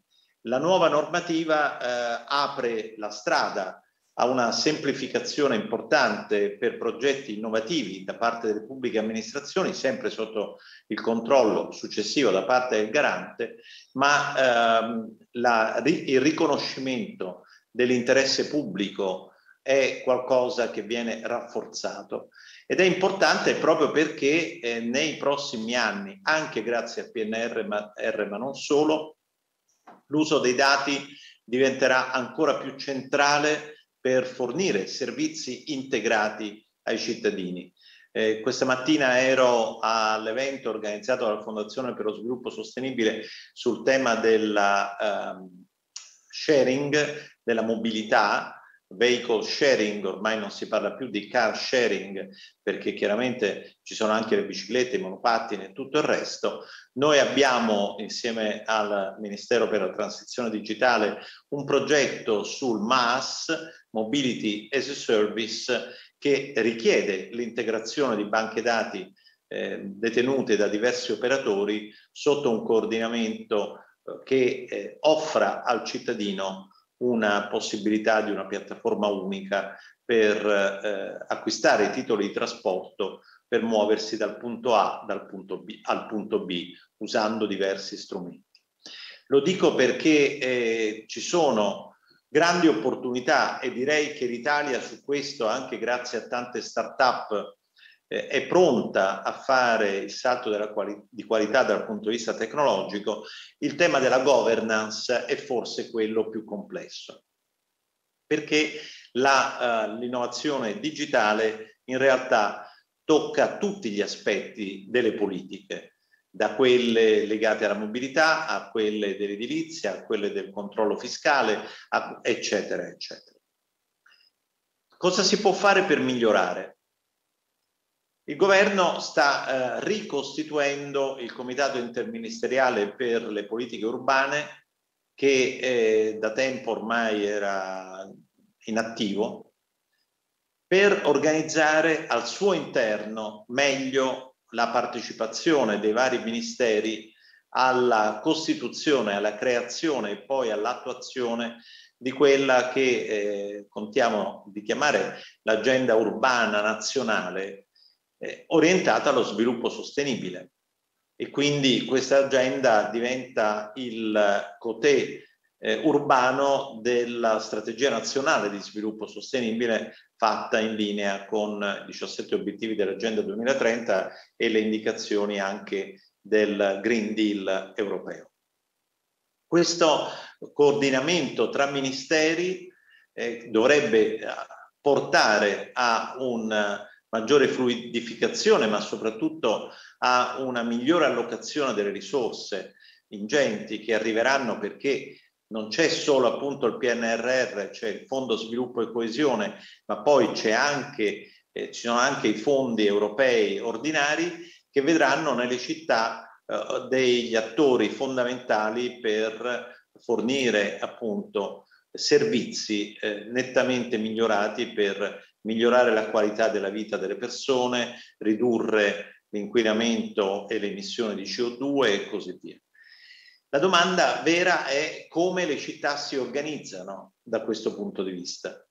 E nel rapporto, cambio cappello con il mio vecchio cappello di, eh, di portavoce dell'Alleanza Italiana per lo Sviluppo Sostenibile, il primo rapporto territoriale, il secondo è in preparazione, verrà presentato tra qualche giorno, mostrava come tante città nel definire il proprio piano eh, strategico ormai utilizzino questi concetti.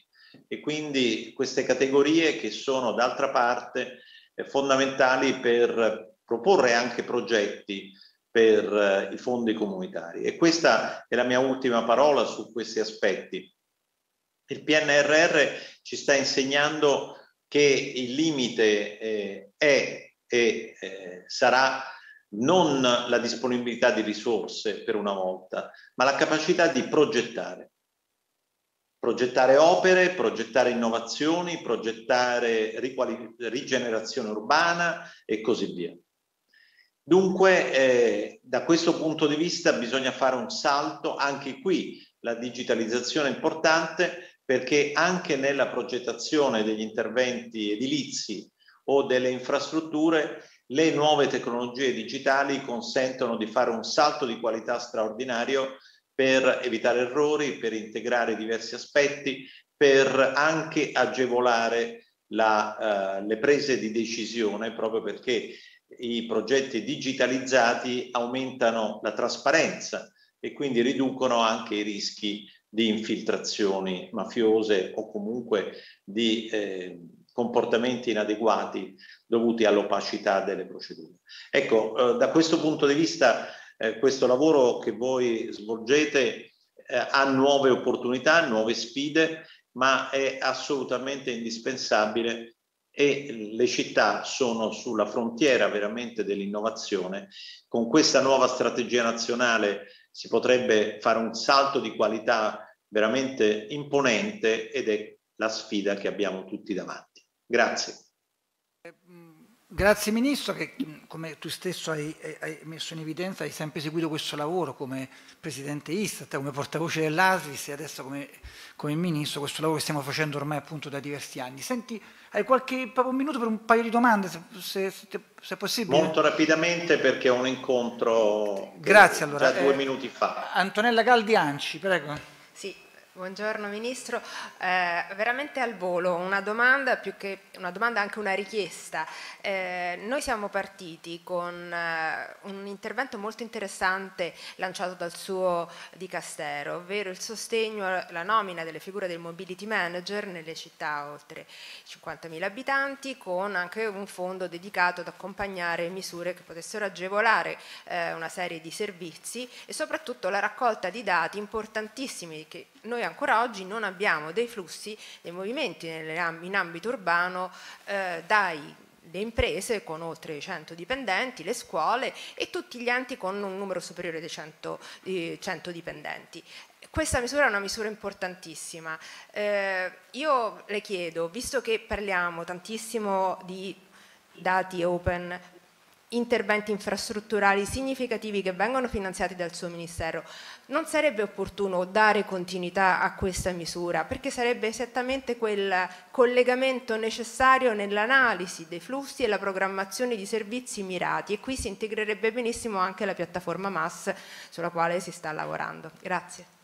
La risposta è chiaramente sì ed è per questo tra l'altro che nel disegno di legge di bilancio io ho fatto introdurre un nuovo capitolo nella parte investimenti che riguarda proprio la mobilità sostenibile, al cui interno è possibile finanziare anche progetti di questo tipo perché il salto di qualità che i mobility manager sono chiamati a fare è decisivo per l'organizzazione delle città. Il 2022 vedrà anche probabilmente le decisioni di tante imprese di rilocalizzazione o dell'uso magari di spazi di co-working al posto dell'unico edificio centrale, eh, anche le pubbliche amministrazioni, sapete all'inizio dell'anno devono eh, dare dei piani sul eh, smart working, il 2022 è centrale su questi aspetti e al nostro interno anche, visto che il Dipartimento che si occupa di opere pubbliche, adesso si occupa anche di politiche urbane e abitative, oltre che di altre cose, stiamo noi stessi determinando un gruppo di riflessione su come al nostro interno e poi di servizio al CIPU, perché noi appunto vogliamo contribuire al funzionamento del CIPU, il coordinamento delle diverse politiche, tra cui quello che è stato appena ricordato, può essere migliorato. Io grazie. purtroppo veramente... Grazie, mi ti ringrazio, sì, sì, sì, sì, non, ti, non ti tratteniamo oltretutto. Grazie, grazie Ministro, grazie, grazie. Ministro Enrico Giovannini, grazie, grazie. Allora, eh, sì, mi dicevano che eh, eh, il Ministro aveva, aveva, aveva eh, per noi introdotto un, un, un, incontro istituzionale e quindi eh, non poteva trattenersi. Eh, questo è, come vi avevo detto, ci prendiamo 5-10 minuti massimo, eh, ovviamente eh, uscite fuori è meglio, ditemi le cose, noi, eh, fra 5-10 minuti è pronto, no? Sì. Eh, fra 5-10 minuti è pronto, salutiamo coloro che ci stanno seguendo in streaming e quindi salutiamo anche i colleghi da, da, da, da Cremona, da, Modena e chi c'è? Eh, non vedo altri in questo momento. Fra 10 minuti ci vediamo qui, ripeto, fuori. Eh, che non sta piovendo, quindi si può stare un po' all'aria aperta e, e, e sì, sì. E, poi continuiamo a lavorare con, con, riprendendo la discussione. E finiamo con, ne vuoi parlare tu o ce lo, c'è, no, c'è la, c'è la, clip, no? Chiudiamo con questa clip che è la clip del nostro, del nostro City Club. Ci vediamo qui fra dieci minuti dopo la clip.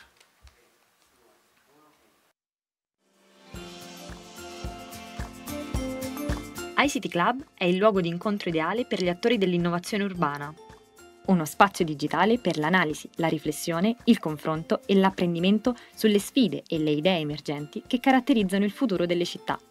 Giunto alla sua seconda edizione, ICT Club accompagna le città nelle azioni e negli interventi per abilitare cittadini e imprese a nuove forme di prosperità sostenibili e intelligenti. Come? Attraverso un set di servizi e strumenti innovativi e flessibili il benchmark della trasformazione digitale, uno strumento di posizionamento e di confronto a partire dai dati della ricerca annuale ICT Rank. Contenuti editoriali per valorizzare i processi di innovazione delle città aderenti e per rimanere sempre aggiornati sulle agevolazioni e sui finanziamenti rivolti alle istituzioni locali. Sessioni di lavoro riservate per confrontarsi su pratiche, progetti e politiche di innovazione urbana e per sperimentare tools per l'analisi, il monitoraggio e l'engagement civico. Infine, ICT Club permette di rafforzare le competenze trasversali dei dipendenti pubblici, grazie ad un percorso formativo della FPA Digital School, rivolto al personale degli enti aderenti.